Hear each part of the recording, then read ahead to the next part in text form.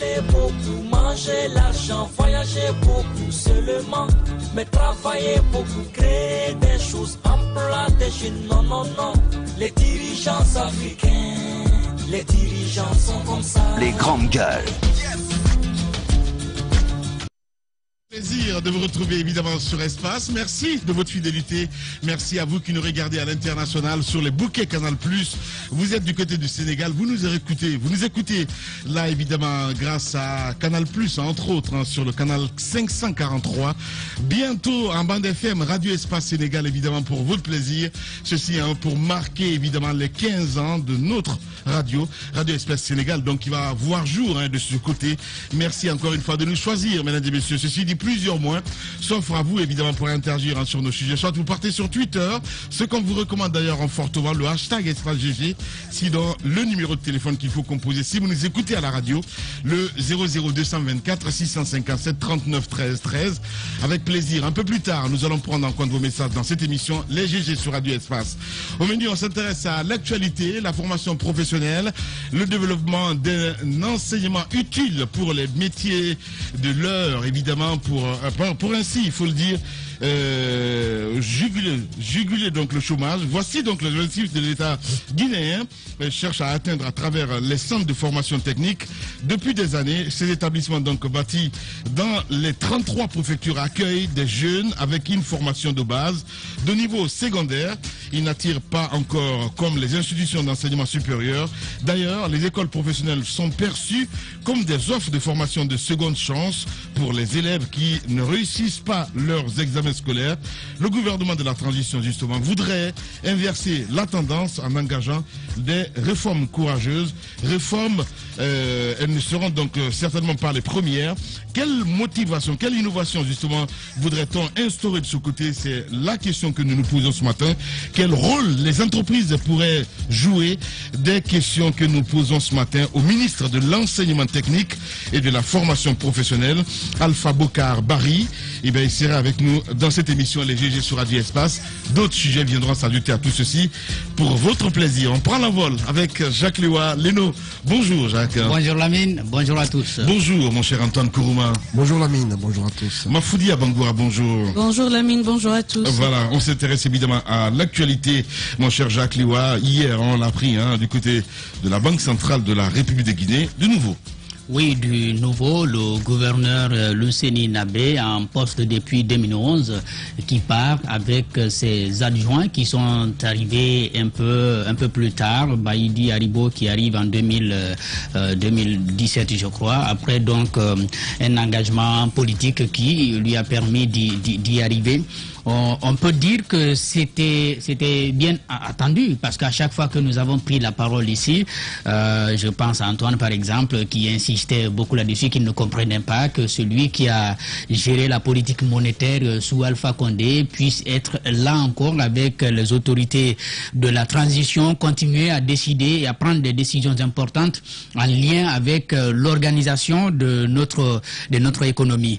Euh, il y a par exemple une euh, mesure toute simple euh, qui a consisté à geler les comptes des, des, des anciens ministres et des anciens commis de, de l'État. On a tous vu euh, cette lettre qui euh, touchait l'ensemble des, des, ministres, l'ensemble des anciens directeurs dont les comptes ont été gelés, sauf le gouverneur de la Banque centrale et ses adjoints, ce qui était du coup pas, pas, pas compréhensible. Et puis euh, nous avons beaucoup d'autres éléments sur euh, le Séninabé, des plaintes euh, portées par des citoyens, des plaintes euh, pour lesquelles, euh, en tout cas, il, dit, il disait clairement que c'est au nom de l'institution qu'on euh, l'assignait euh, en justice. C'est pas pour euh, son rôle particulier, mais on peut bien, on peut bien comprendre que en tant que premier responsable de cette institution dans notre pays, il y avait une certaine responsabilité qu'il pouvait avoir euh, euh, des, engagements de, l'État qui n'ont pas été respectés. Je pense notamment au maraîcher de Kamsar euh, à qui on doit 17 milliards de francs guinéens. Euh, le chèque se trouverait dans le sommet et qui n'arrive pas justement à, donner. Donc autant de problèmes comme ça qu'on a pu souligner avec Luceni Nabé. Maintenant pour Baïdi Haribo, comme je le disais, c'est plutôt un homme politique qui est arrivé à la Banque centrale, peut-être par le passé, il y est passé avant de devenir ministre. Ensuite, euh, un engagement politique dans l'UFR. En 2015, ils vont décider de s'associer au RPG Arc-en-Ciel. Son mentor devient euh, haut représentant du chef de l'État. Et puis, euh, quelques, quelques temps après, lui, il finit par devenir de la Banque centrale. On a bien compris qu'il ne s'est pas détaché de, de la politique, il ne s'est pas caché de, euh, de, de cet engagement euh, politique. Il a continué à, à se montrer comme un véritable, Ouais. euh, un, un véritable propagandiste auprès du président, auprès du président Alpha Condé.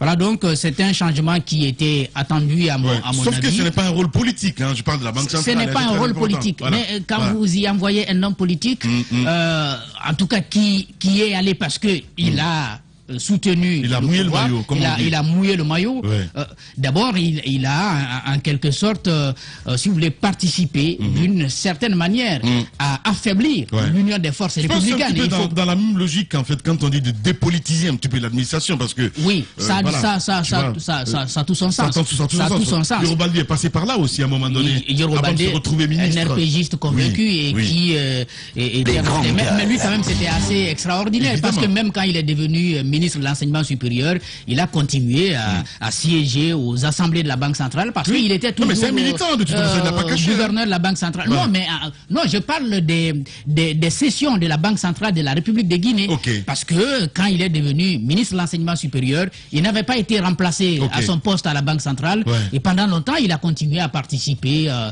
à, à des sessions, ce qui était euh, inacceptable. Inacceptable. Non, deux, postes Ouais. pour une euh, même personne. l'enseignement Bon, sous Alpha, on a tout vu quand même, Oui, hein. sous Alpha Condé, on a, on a tout vu ça. Donc, ce n'était pas, ce n'était pas étonnant Ouais, que ouais. euh, Baïdi Haribo qui Mm. euh, s'est engagé politiquement, qui a participé, comme je le disais, à affaiblir l'UFR, Mm. parce qu'il ne faut pas l'oublier, il était le secrétaire général de cette formation politique, Ouais. formation qui a fait de lui député Mm. à Kaloum, et puis après, bon, après, on, on peut dire tout ce qu'on veut. Euh, lui, il va dire que c'est lui qui a permis à l'UFR d'obtenir euh, un député à, à, Kaloum, fais pas parler ce a- matin. alors que l'UFR estime que c'est elle qui a Non, fait de lui député. Beaucoup ont Il profité de l'UFR. par- Voilà, je dis et j'assume. Beaucoup ont profité des grands partis. Ben justement, parce que c'est les gens sont devenus députés parce que Selou est, est- est à la tête de l'UFDG. Mm. D'autres sont devenus députés parce que Sidia Ouais. est à la tête de, de l'UFR. Ouais. Et, et finalement, il finit par lâcher cette formation politique euh, pour aller euh, Mm. là, où- là où on dit, à, à la mangeoire. Justement, à la mangeoire.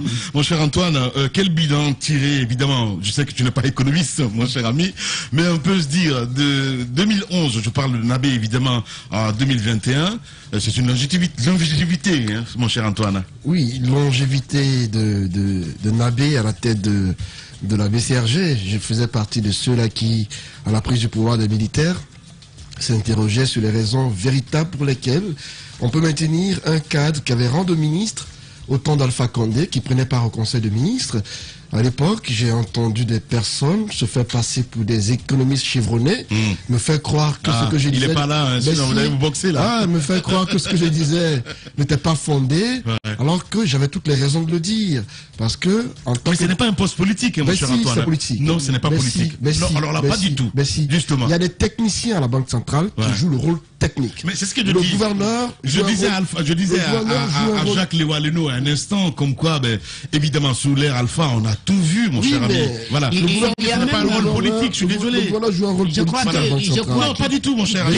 Il était aussi dans, dans l'irrégularité. euh, Beaucoup, beaucoup se sont retrouvés en fait, si tu veux, euh, euh, dos au mur. Évidemment qu'il fallait mouiller le maillot, même si euh, euh, on a vu certains ministres quand même qui sont pas du tout cachés là-dessus, hein, à dire je vais jamais aller au siège du RPG Arc-en-Ciel. Gassama à l'époque a fait le tour des sièges des partis politiques quand c'était chaud ici. Nous, à un moment donné, parce qu'il y avait trop de tueries du côté de Bambeto, on a arrêté même de faire une émission parce que les gens oublient hein, tout ça. C'est vrai. Voilà. Donc pour le cas de Monson Nabé, on ne, on ne remet pas en cause ses compétences. C'est un homme qui, je dirais, Mm. Justement. a fait ses preuves à la Banque centrale. La dernière fois, je le disais, il a permis à la banque de changer de visage. Mm-hmm. Lorsque vous allez à Kaloum aujourd'hui, c'est le plus beau bâtiment de Kaloum. Antoine. Je le dis et je l'assume. Antoine. Mais si- Mais Montrez-moi ce bâtiment à Kaloum qui est plus beau que la Banque centrale. Non, mais. Antoine, C'est le plus beau bâtiment à Kaloum. Quand vous y allez, Je veux malheureusement, des chiffres ce matin, mon Oui, cher des Antoine. chiffres, attendez qu'Ahmed Kourouma soit là, vous les donner.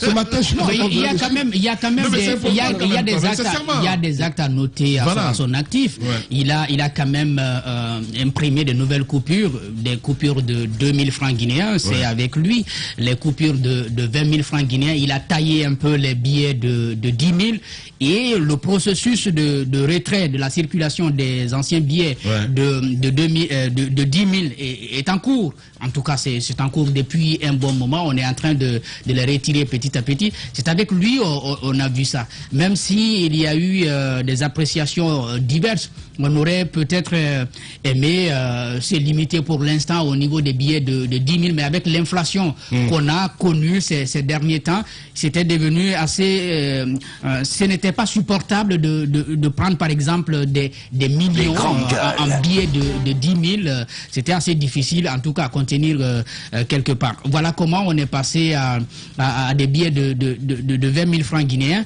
Et puis il y a d'autres réformes qu'il a pu engager et qui euh, n'ont pas nécessairement donné les, les, les, les, les réponses qu'on qu'on attendait parce que l'inflation n'a pas été maîtrisée comme on, on l'a souhaité.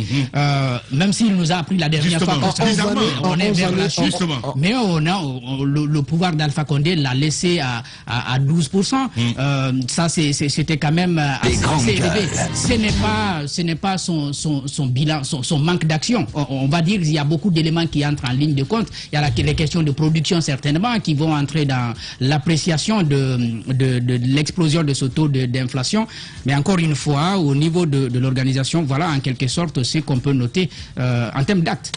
Oui, être à la Banque centrale près de 10 ans, forcément, il y a des actions positives que vous posez, mais il y a aussi des scandales euh, dont on a parlé dans ce studio. Ahmed, Ahmed Kamara avait parlé d'un dossier de, de un dossier euh, lié à, un détournement de, de je crois que c'était des, des tonnes d'or. À l'époque, il parlait un peu d'un dossier dans lequel le gouverneur était impliqué. Il y a eu des dossiers comme ça autour desquels L'institution a- plutôt, mon cher Antoine, parce que Jacques l'a rappelé. L'institution un le gouverneur le Sénat a, été- a- a été beaucoup cité dans des scandales et même judiciaires. On l'a rappelé tantôt dans ce studio. Ce qu'il faut rappeler et, et qui est à mettre à l'actif peut-être du gouverneur de la Banque centrale, c'est aussi l'état de nos microfinances.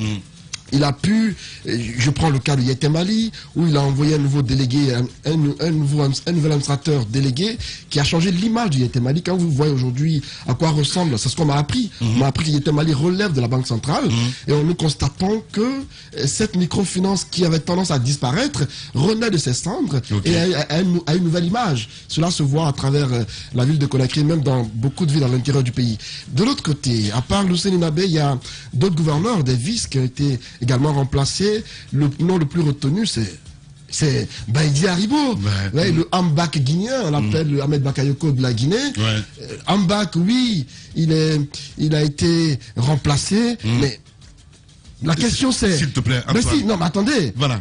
on ne va pas masquer la Pas- pas- plaie, non, on ne masquera pas, attendez. Je ne te demande pas de masquer la plaie, Justement, mon cher Antoine. Ça fait vois- 15 ans que je fais cette émission. en train de non, vouloir... il faut pas Non, mélanger les je choses. Ne je ne veux pas du tout je un ne débat de personne. Pas du tout. mais Je ne veux pas débattre du Je tout un débat de personne. la Je parle d'un gouverneur. Je parle d'un vice-gouverneur qui a été remplacé. Donc, Sa vie privée, c'est sa vie privée. Non, c'est pas une vie privée, ça. Je te vois venir. Je te connais trop, Antoine. Heureusement que vous me connaissez. Justement. vous savez que j'allais- j'irai jusqu'au bout. Ben, vas-y. Voilà, justement. Donc, Voilà. on a Sa vie privée, c'est sa vie privée, Ce Antoine. n'est pas une vie privée à ce niveau. On a remplacé, Allons-y. Oui. on a remplacé des hauts cadres à la tête de la Banque centrale. Oui. On se dira que c'était dans le filon. Forcément, ils allaient quitter leur poste. Oui. Mais la grosse question, c'est pourquoi maintenant? Quelle est la goutte d'eau qui a fait déborder le vase? Hmm. C'est la, grosse que- c'est la grosse question que l'on se pose. Et forcément, on est appelé à se demander si cette vidéo qui Ah, a ben fait voilà. le tour du Eh monde, ben ben si voilà. Eh ben cette vidéo Eh du vice-gouverneur de la Banque centrale-. Ah je, je le dis, je le dis clairement parce que la toile s'en est appropriée. Les médias, s'ils ne veulent pas en parler, c'est important qu'on en parle. La vidéo du vice-gouverneur de la Banque centrale a fait le tour du monde. On a vu ces photos indécentes qui ont circulé dans Conakry et à l'intérieur du pays, qui ont clairement montré. Antoine, Bah si, Parle du poste, s'il te plaît, mon je cher parle Antoine. du poste. Voilà. Est-ce que c'est cette vidéo qui est à la base de ce limogeage on va s'interroger. Ouais. Toutes les questions sont possibles. Mais quand même, Antoine, hein, Attendez, sincèrement, vous ne, attends, vous ne pas. Lamine, C'est Lamine, les Ça n'a rien à voir. forcément, forcément. Le débat, Je suis désolé. le débat était en cours. Ben, je comprends Beaucoup très bien, mais je ne pense pas du tout que ça a un rapport. Beaucoup avaient commencé Je à ne soulever- pense pas du tout que ça a un rapport. C'est vous, qui le- le pensez Mais- ici. Mais bien avant lui. Parce que tu veux qu'on en parle justement. Du côté du ministère de la Jeunesse à l'époque. Hein, Arc-en-Ciel, on, euh, on a vu une vidéo aussi euh, de Qui cette personne. qui était au pouvoir à l'époque C'est Alpha qui était Alpha au pouvoir. Condé. Pour récompenser Voilà. la personne mise en Oh, ben cause, voilà. mais je vous apprends, pour, le- pour récompenser la personne mise en cause, il lui a offert quoi? Une 4x4 sortie d'usine. Hmm. Vous le savez, il lui, a, il lui a dit, mon petit, je te soutiens, tu as bien fait, voici une voiture. Mais autant de colonel Mamadi Doumbouya, des voix se sont élevées pour dire que, après ce qu'on a vu en image sur la toile, il n'est pas acceptable que le vice-gouverneur soit maintenu à son poste. Est-ce que euh, le colonel a écouté ces personnes qui ont, qui ont décrié ces images en disant qu'il n'est pas normal que de telles images circulent et qu'il faut agir? Est-ce que c'est ce qui a fait agir Mamadi Doumbouya? Forcément, c'est des questions qu'on va se poser parce que... Mais, Non, mais en c'est ce moment- en ce moment, les deux autres n'allaient pas payer. S'ils n'agissent Ah, quand même. Le Séninabé. Non, Quand même, quand même. Non, non. il- Il a depuis hier, ça forcément- démangeait. Pas du tout. Depuis hier, ça du démangeait. Voilà. Il Pas du tout. Forcément, s'il n'évoquait forcément, pas ça. forcément, il a peut-être fait d'une pierre deux coups. Eh ben, voilà. il, a, il profité d'une occasion pour agir tout de suite. Parce que je ne crois pas, Lamine. Ouais. Si cette vidéo n'apparaissait pas avant-hier, je ne crois pas que ce décret allait sortir hier. C'était dans... le- Non, mais si, ça allait, ça allait attendre. Bien. Maintenant que la vidéo est apparue, Ouais. et qu'on soit tous d'accord, Bien. cette vidéo-là, à mon avis, euh, c'est vrai qu'on condamne les personnes qui l'ont mise sur la place publique, mais quelque part, ça concerne une personnalité publique de ce pays. Et quand c'est comme ça dans un État sérieux, il y a forcément des actions auxquelles il faut s'attendre. Ce qui se passe, Baïdi Haribo, chacun de nous sait, il est ami à beaucoup de personnes, on, salue ce qu'il est. Il est, c'est un homme humain, il est assez... euh, c'est un euh, comment dire ça Eh ben voilà. c'est quelqu'un qui Merci vient en aide à beaucoup de personnes. Il a posé beaucoup d'actions humanitaires. Ça pour ça je le salue. On sait tous qu'il est à la base du succès de beaucoup d'artistes dans ce pays. Grand P c'est une illustration. Merci, Antoine. Attendez que je finisse. Grand bon. P c'est une illustration. Mais lorsque une autorité de ce pays Antoine. lorsqu'il y a bourde Antoine. Lamine ayons le courage de dire Non, mais qu'il a zaillé Amine Non, sa vie privée, c'est sa vie privée. Je suis désolé, mon cher Lamine, Antoine. Lamine, Non, non, non, non, s'il te plaît. Lamine, Sa Lamine, vie privée, ne, confond- ne confondons pas les choses. Ne confondons pas les choses. Lorsque cela se retrouve sur la place publique, en tant que média, on est contraint d'en parler. Voilà. Merci beaucoup, Antoine. Allez, Mafoudia. Hein? Ouais, ça le depuis hier. Ah donc oui, c'est- c'est- c'est- c'est- Salut, Antoine. C'est c'est bon, Antoine, c'est bon, tu es tranquille. Pas du tout. Pas du tout. Je ne fais que faire mon travail. C'est tout. Voilà. Alors, on, en vient euh, effectivement au, au- au- au titre, ce Le qui nous bienfait, là, importe plus. c'est autre chose. Euh, le- le re- la responsabilité de ces personnes au sein de, à la tête de la Banque centrale de la République de Guinée. Alors, euh, moi, je me suis amusée à aller sur leur site et euh, figurez-vous, je crois que c'est le 4 décembre, donc il y a quelques jours, c'était la dernière prise de parole euh, de Lucien Inabe, Lucien Inabe qui est quand même revenu sur quelques réformes qu'il a eu à apporter à la tête euh, de la Banque centrale. Il cite no- notamment la modernisation du système national de paiement grâce à l'appui technique et financier de la Banque africaine de développement, l'adoption d'une nouvelle loi relative aux institutions financières inclusives pour, euh, pour, pour offrir un cadre réglementaire propice au développement des services financiers. Il y a l'adoption d'une nouvelle stratégie nationale d'inclusion financière visant à impulser à coordonner les actions dans ce domaine, mais aussi il cite la mise en place d'un comité technique national euh, chargé du suivi de la stratégie nationale et d'inclusion financière. Il y a également beaucoup dans l'élaboration en cause d'une réglementation relative à la protection des consommateurs. C'est pour dire que euh, Lucien Inabe, euh, c'est vrai que parmi, euh, quand on le compare à Baïdi Haribo, il était un peu plus discret et c'est normal, on le dit, on ne, cessera jamais de le répéter souvent, quand on a des hommes à la tête de telles structures, euh, le silence est de mise et c'est le travail, c'est ce qui est beaucoup plus. Et aujourd'hui, lors de cette sortie, c'est lui-même qui euh, met sur table les réformes qu'il a eu à t'engager. Eh bien, à ce stade, on se pose la question, alors d'où l'intérêt de, de, de, de, les faire remplacer à la tête de la Banque centrale de la République de Guinée. Est-ce que le CNRD est dans la logique de, de dégager tous ceux qui ont, d'une manière ou d'une autre, permis euh, euh, cette histoire du troisième mandat en Guinée, ou bien c'est pour incompétence, donc amener d'autres personnes qui pourront mieux faire financièrement pour la République de Guinée. La question reste posée. Toujours est-il qu'aujourd'hui, ils sont partis, c'est vrai, il y a cette histoire de, de, de Baïdi, mais moi je pense que ça n'a absolument rien à voir. Euh, il y a beaucoup de régimes, Moi, par ça me exemple. surprend que vous réagissiez ainsi sur ce, sur ce dossier. Antoine, je t'ai écouté, ne laisse-moi terminer. Ne pouvez pas d'emblée dire que ça n'a rien à voir. Moi je pense que ça n'a rien à voir. Dans l'analyse que nous faisons, on ne peut pas ne pas en parler, on ne peut Depuis pas faire allusion à ça. CNRD est On ne peut pas faire allusion à cela. Depuis que le Alors, CNRD est expliquez-moi la coïncidence alors. Qu'une vidéo apparaisse à la veille c'est- et le lendemain, en fait, Mais qu'on m'explique cela? c'est ta Quand lecture. on me dit que C'est ça n'a rien à je voir, comprends, c'est curieux. mais quand même, c'est pas, c'est pas une coïncidence hasard- hasardeuse. Voilà. allez-y, Mafoudia. On sait Ne que soyez depuis, pas catégorique. Ne soyez Antoine. pas catégorique. Antoine. Voilà. Allez-y, On va on sait que depuis, le, depuis que le CNRD est là, il y a plusieurs entités, des structures, des régies qui, qui sont tout le temps touchées. Par exemple, lorsque euh, euh, ces décrets sont tombés hier, on se disait bah, que du côté des impôts, qu'on se prépare. En fait, il y a, une chronologie qui est respectée. Je pense que d'une manière ou d'une autre, Nabé et, et, et Baïdi Haribo à la tête de la BCRG auraient été touchés. Parce que Jacques revenait là-dessus. Lorsque Baïdi Haribo a été nommé à la tête de la BCRG, beaucoup se sont, donné, beaucoup se sont posé des questions. Est-ce qu'il a été nommé en tenant compte de ses compétences ou bien est-ce qu'il a été nommé pour le récompenser de son militantisme ou bien de son, de son soutien au président de la République? Parce que ce qu'il ne faut pas perdre de vue, c'est que ce sont des secteurs très stratégiques. C'est très, très important pour le pays. Et malheureusement, l'ancien régime a péché par là. On n'a pas, on s'est pas donné euh, ce temps de voir réellement la compétence des gens pour les mettre à un poste ou à un autre. Et ça a été très compliqué. Le résultat, nous le vivons. Nous le vivons parce que quelle que soit la volonté, parfois, si on n'a pas les compétences, c'est assez compliqué. Et le président de la République, ce ne serait pas mentir quand on dit que euh, dans beaucoup de ses choix, il a privilégié l'appartenance euh, politique pour faire ses choix. L'ex-président, il faut le rappeler. L'ex-président de la République, c'est très très important, Lamine, tu as raison, il faut le souligner. Il a, il a péché souvent de, de par là en, en choisissant des hommes de, pour leur appartenance politique. C'est très compliqué. En tout cas, moi, avec toutes euh, ces décisions du CNRD, tout ce que je souhaite, c'est que les choix qui sont faits soient des choix judicieux. Parce qu'en fait, on ne peut pas enlever et mettre autre chose, euh, en fait, quelque chose de, de, de, de, de je plus Et pour le le moment, qui arrive d'ailleurs aussi, hein, ben, méconnu hein, du public. est méconnu du public. Kaba, c'est ça Carmo Kaba, c'est cela. Il- Il est de l'institution, il connaît, il connaît le domaine. Donc tout ce qu'on va peut-être souhaiter à un moment donné,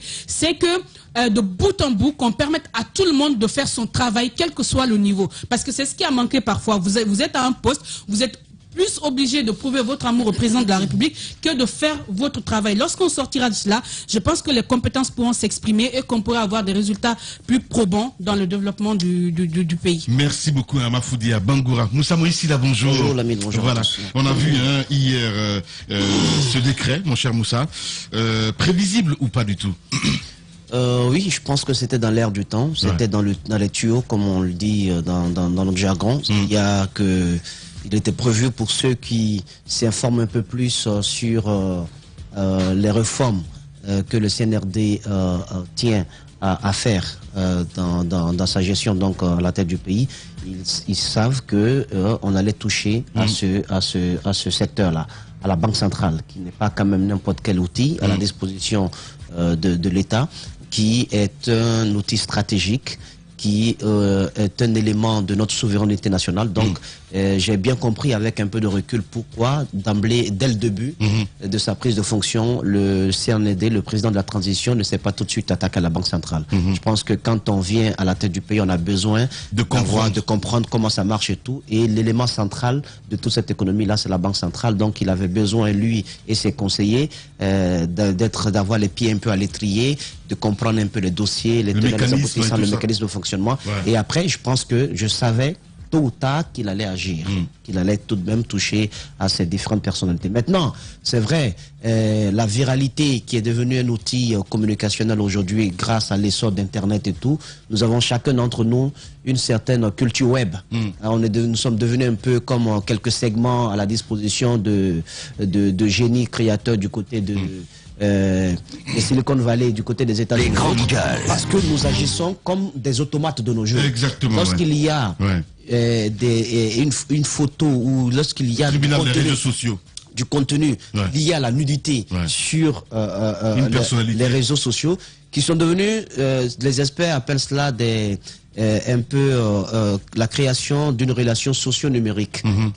Donc c'est devenu comme ça. Ça, il y a, il y a une viralité dedans quand ça, quand c'est avec Mafoudia, Mafoudia envoie à, à Amadou, Amadou envoie. Donc ça devient assez, ça devient, ça, ça va à une vitesse extraordinaire. Ouais. Donc quand on agit comme ça, et en prenant l'exemple du cas de, de, de Baïda Haribo, on se dit, c'est vrai qu'il aurait pu partir, lui et ses, et, ses, et ses premiers responsables.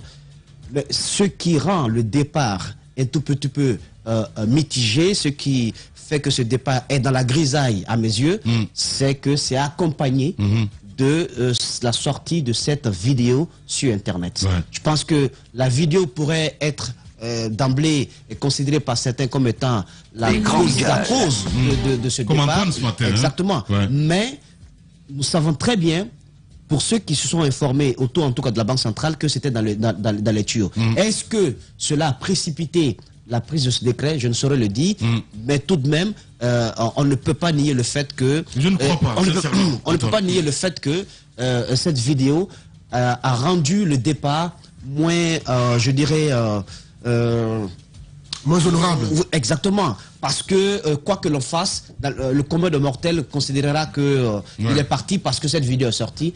Pourtant, il peut, il peut en être autrement. Mm. Maintenant, moi, je, je trouve que à, à- à un moment donné, il faut que euh, cela cesse, qu'on ne prenne pas les victimes pour des coupables. Ouais. Il appartient à chacun d'entre nous, Mm. à, chaque, à chaque citoyen, d'avoir ces moments de détente, Mm. d'avoir ces moments de, de, de ces moments de, D'intimité. de, de jambes en l'air. Bah oui. C'est, je vois pas, je vois nulle part où c'est interdit, à moins que la, la, la- à moins que euh, la relation ne soit pas consentante.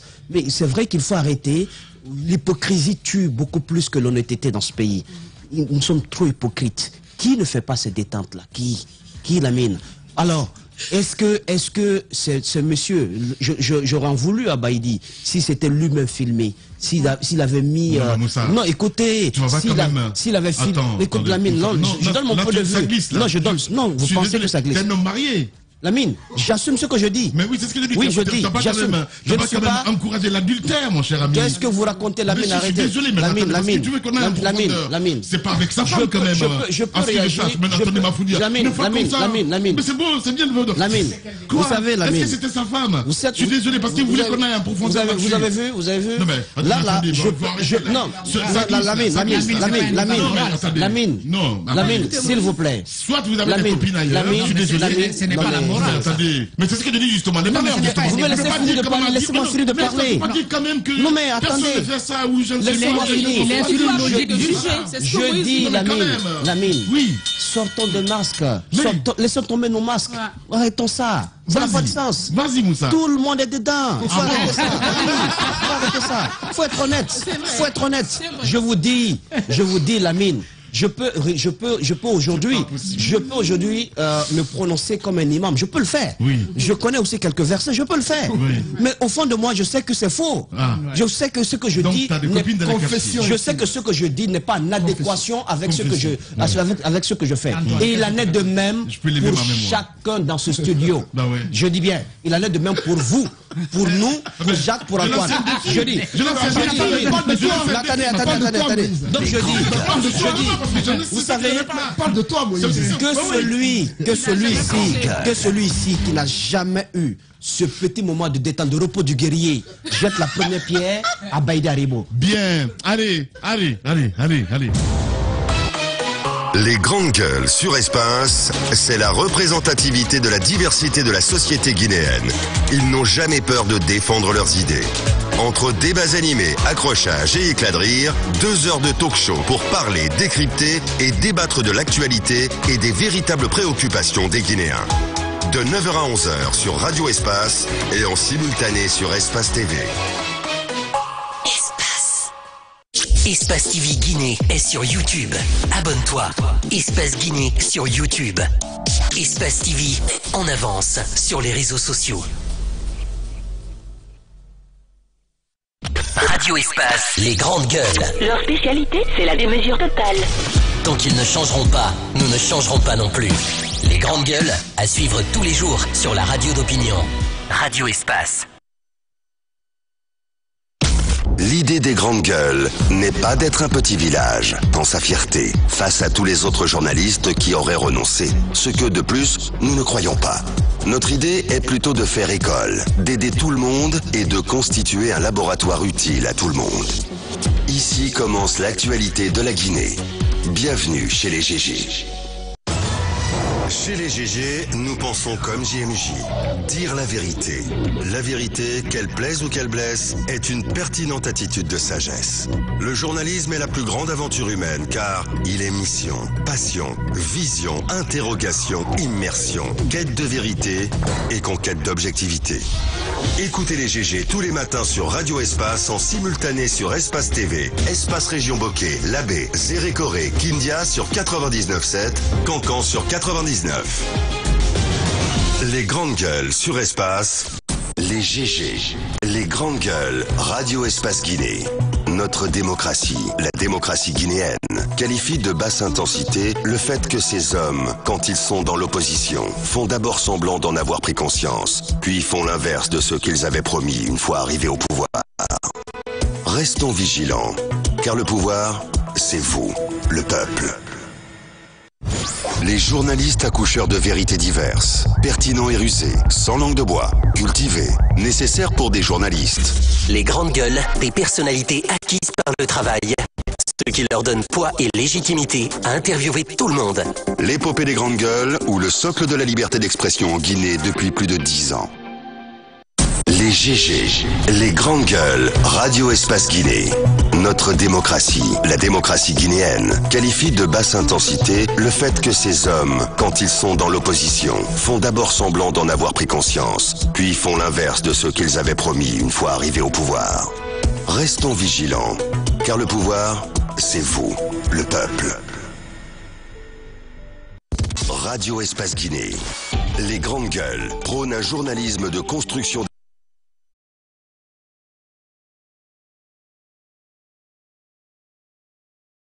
seul conseil ce matin, couvrez-vous, c'est très important. Merci à vous qui nous rejoignez évidemment chez les GG sur Radio Espace Guinée. Au menu, l'actualité, on s'intéresse évidemment à la formation professionnelle, le développement d'un enseignement utile pour les métiers de l'heure, pour ainsi évidemment juguler donc le chômage. Voici des objectifs que l'État guinéen cherche à atteindre à travers les centres de formation technique. Depuis des années, ces établissements bâtis donc dans les 33 préfectures accueillent des jeunes avec une formation de base de niveau secondaire. Ils n'attirent pas encore comme les institutions euh, d'enseignement supérieur. D'ailleurs, les écoles professionnelles sont perçues comme des offres de seconde euh, de, formation de seconde chance, évidemment, pour des élèves qui ne réussissent pas leur examen scolaire. On essaie de comprendre ce matin, mesdames et messieurs. Le gouvernement de la transition voudrait inverser la tendance en engageant évidemment des réformes courageuses. Eh bien, elles ne seront certainement pas les premières. Quelle innovation, nous essayons de comprendre ce matin, voudrait-on instaurer de ce côté avec euh, le ministre euh, Alpha Bokar Bari Eh bien, il sera avec nous évidemment d'une minute à l'autre dans ce studio. Eh bien, euh, quelques DAF hein, qui fuient le pays, mon cher Moustapha là. Oui, euh, nous avons appris que euh, un membre de, donc, de cette corporation avait souhaité euh, prendre ses jambes à son cou du côté de l'aéroport avant Ouais. d'être D'autres même arrêté. sont partis. hein. Il y en a un qui est parti au Sénégal. Le il est parti par voie aérienne. Euh, terrestre, pardon. Voilà, donc je pense qu'il y a, euh, on voit un, peu venir le travail qui sera fait par euh, euh, la CRIEF, mais également par la commission qui a été euh, créée hier, la commission de récupération des biens de l'État.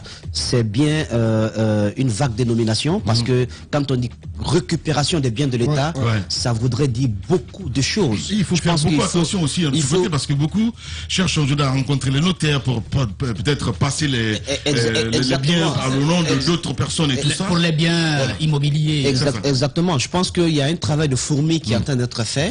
Euh, vous savez, on peut se rendre compte de l'étendue d'un incendie à travers les- la fumée que ça dégage. Vrai. Donc, quand vous sentez que vous pouvez être consumé par cette flamme, Ouais. vous dites le mieux pour moi, c'est de chercher à, me- à- à- à disparaître. Vrai. Donc, euh, certains qui se, qui se culpabilisent déjà Ouais. ont envie de partir, Ouais. mais d'autres Ouais. passent par une sorte de De qui est, manie. très, qui est très, qui est, qui est très, très, qui n'est pas très subtil à mes yeux. C'est-à-dire qu'ils ont un important montant sur leur compte bancaire. Et puisque ce sont des comptes privés, c'est à leur nom, Mm. et qu'il n'y a pas de justif en cas de, de questionnement de la commission qui va travailler euh, sur euh, cette reddition des comptes, eh ben, on a des copains, on a des amis, on a des connaissances à qui on transfère euh, euh, euh, un, un certain montant. Cela n'est pas possible. Cela n'est possible qu'en complicité avec certaines banques, avec Évidemment. certains conseillers, euh, conseil- conseillers de comptes, parce que il y a des, il y a les comptes, il y a des comptes qui sont gelés. Mais quand on réussit à faire ce genre de mouvement, c'est que la banque est complice. Le conseiller est complice. Donc, ils réussissent, par exemple, avec un volume de, de, de 20 milliards de francs guinéens sur son compte, il réussit à partager un peu ce montant en 2 milliards, 2 milliards euh, sur les comptes de- d'un réseau de connaissances. Du coup, dans le compte principal lui appartenant, il ne reste que 5 milliards ou 2 milliards qu'il peut justifier. Donc voilà un peu euh, euh, euh, euh, euh, l'ingéniosité que certains ont trouvée. Je pense que c'est pas trop bien malin parce que plus vous le faites de façon numérique, plus, plus il y a ces transferts, plus on peut bien retracer tout cela. Il y a une traçabilité. Donc on peut bien tracer tout cela et retrouver tous ceux qui ont reçu ça. Mais j'apprends que l'un des bénéficiaires de, de, de ces transferts-là est parti également du côté de Dakar, a décaissé son montant et est en train de s'offrir une sorte de Java tranquillement. Parce qu'il n'a rien demandé, l'argent est tombé sur son compte, donc du coup il en fait ce qu'il peut bien, ce qu'il peut bien en faire. Eh ben Je pense qu'il faut, euh, avec un peu de... Il faut, il faut garder toute la sérénité Ouais. dans cette histoire. Je suis d'accord. Il y a un travail qui sera fait en fonction des dossiers. Il y a des justifs qu'il va falloir apporter, mais vous le faites de façon sereine. Je pense que euh, c'est pas une chasse aux sorcières. On ne dira pas, eh ben, tel DAF euh, était proche de, de tel ministre ou était, très, était proche de, de- du régime Condé. Donc c'est sa tête qu'on veut. Il faut, il faut qu'on, il faut, il faut qu'on, Faut l'écraser. faut l'écraser. Non, Les il ne grandes sera pas gueules. ici. Il y a des dossiers qui vont être étudiés et en fonction de ces dossiers, vous aurez ou pas à vous justifier sur euh, comment vous avez euh, pu euh, engranger une telle richesse. Justement, voilà. Euh, Allez-y, euh, ma grande Mafoudia. Alors, moi, je pense que- Prévisible ou pas du tout, mais c'est quand même, il faut être audacieux. Veux dire, je veux quitter il y a de la- l'audace dans Ouais. l'administration. Malheureusement, il y a de l'audace. Il y a beaucoup d'audace. hein, ça, c'est clair. Et c'est pourquoi moi, je pense qu'à ce stade, ce qu'il va peut-être falloir faire, c'est Mm. de euh, prendre attache avec les, les banques. Responsabiliser les banques. Les grandes Leur gueules. dire que si nous nous rendons compte que vous avez aidé tel ou tel à, à faire des transactions qui lui permettent d'échapper au contrôle que nous sommes en train d'organiser, vous êtes aussi fautive en tant que banque. Peut-être que ça peut aider euh, dans, la, dans, dans le contrôle, ça peut aider déjà à bloquer certaines velléités. Et c'est vraiment très très très important d'aller vers cela parce que sans un contrôle de, de ce que nous avons comme manne financière, on ne peut rien réaliser. Ouais. Dans tous les pays du monde, même dans les pays les plus développés, il y a la corruption. Mais c'est le niveau qui diffère. Exact. Le niveau qui fait que dans un pays comme la Guinée, on n'est pas à mesure d'avoir plusieurs CHU. Et même les deux CHU qui existent, de ne pas avoir ces CHU équipés, d'avoir un pays comme la Guinée, où encore on s'assoit à même le sol pour étudier, où les centres de santé n'existent pas, il y a, ce n'est pas possible. C'est à se demander à, quel moment on a péché. Et on se rend compte que c'est la gestion humaine qui pose problème. Des fois, même quand il y a compétence, il y a un problème de probité morale. C'est dans nos pays encore, on se réjouit d'être nommé, pas parce qu'on on, on vient euh, pour apporter quelque chose, mais on se dit que la vie est faite. Je pense que tant qu'on ne réussira pas ce travail, les 10 ans, les 20 ans prochains, on ne peut pas faire grand-chose. Il faudrait faire ce travail de contrôle pour que qui, qui que l'on soit, lorsqu'on est nommé à un poste, on sait qu'il y a un mécanisme qui vous empêche de détourner un montant destiné à un projet, parce qu'en fait, c'est ce qui se passe. Des fois, on se demande, mais qu'est-ce qui se passe? Est-ce qu'il n'y a pas d'argent? Il y a de l'argent. Il y a par exemple de l'argent qui est mobilisé au niveau des régies, à la douane, beaucoup de choses, au niveau des, des- des mines. Qu'est-ce qui fait que l'argent là n'est pas utilisé à bon escient? Quand on va aujourd'hui dans les mines, le secteur le plus prisé, comment comprendre que les, les- les zones dans lesquelles même on exploite ne puissent pas bénéficier même d'une école digne de nom? J'ai changé avec quelqu'un qui m'expliquait en quoi, euh, ces derniers temps, c'est vrai, il y a eu des réformes par exemple, liées à, à ce code de collectivité locale. Une manière d'amener les les entreprises à avoir un regard vis-à-vis des, des, des, des populations tout autour. Mais il s'avère qu'il existe déjà naturellement au niveau des entreprises un plan de gestion sociale qui permet de faire face à ces problèmes. On se rend compte que ce- ces, ces histoires de code de collectivité ont été créées. Mais est-ce qu'il y a eu réellement un impact sur le quotidien des Guinéens? Ça n'a pas eu.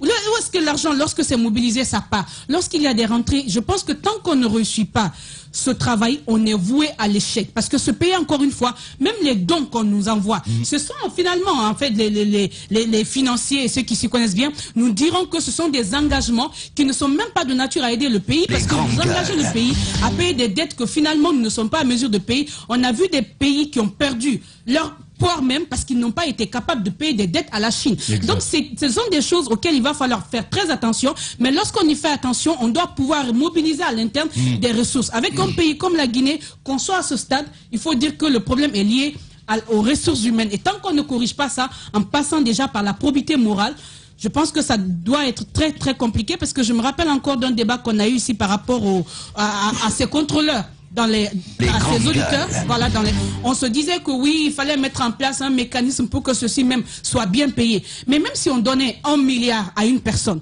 avec la cupidité, on n'est jamais satisfait. On cherchera toujours à avoir. Donc il faut travailler sur le mental. Il faut que le Guinéen ait envie de s'investir pour qu'il y ait du bien dans son pays. Mais pour le moment, on n'est pas dans ça. On vous nomme à un poste. Ce qui vous préoccupe, c'est ce que vous mettez de côté pour votre famille, pour votre progéniture. Pendant ce temps, par exemple, un milliard qu'on devait mettre pour construire euh, un centre de santé pour tout le monde, vous vous en foutez. Pour vous, ça vous va et puis vous envoyez vos enfants, votre famille à l'extérieur pour le traitement. Il faut qu'on sorte de ça. On doit, on doit pouvoir travailler sur notre mental, sinon c'est voie à l'échec. Justement, voilà. On, Oui. on creuse La- dans le désert. Allez-y. euh. La première rupture euh, que le président Doumbouya devrait marquer avec euh, le régime qu'il a chassé, c'est bien sûr de, de sanctionner. Parce que le régime qu'il a chassé, le président et son premier ministre ont passé tout leur temps à dénoncer la corruption.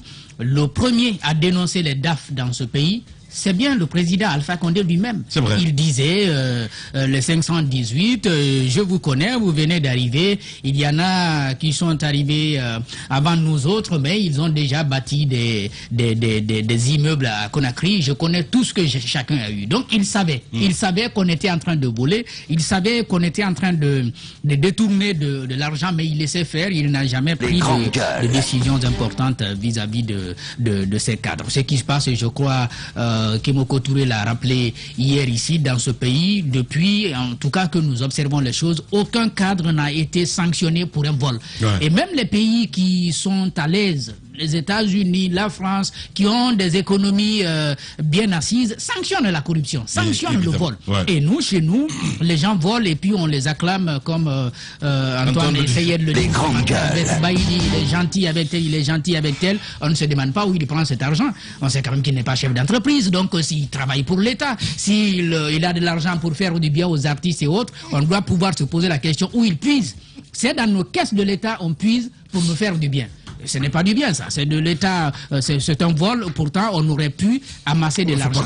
Moi, je crois il faut, Non, il faut organiser. non, en bac, laisse en bac là-bas. Euh, en bac, c'est autre chose. c'est- Les grandes je, je Ces crois, actions je crois- humanitaires là, moi je préfère ces actions humanitaires à, Quand vous volez, volent. quand vous volez, attendez. quand vous volez, vous Il faites a un action poste de humanitaire. responsabilité. Quand vous volez. Attendez, attendez, attendez. Il a un poste de responsabilité.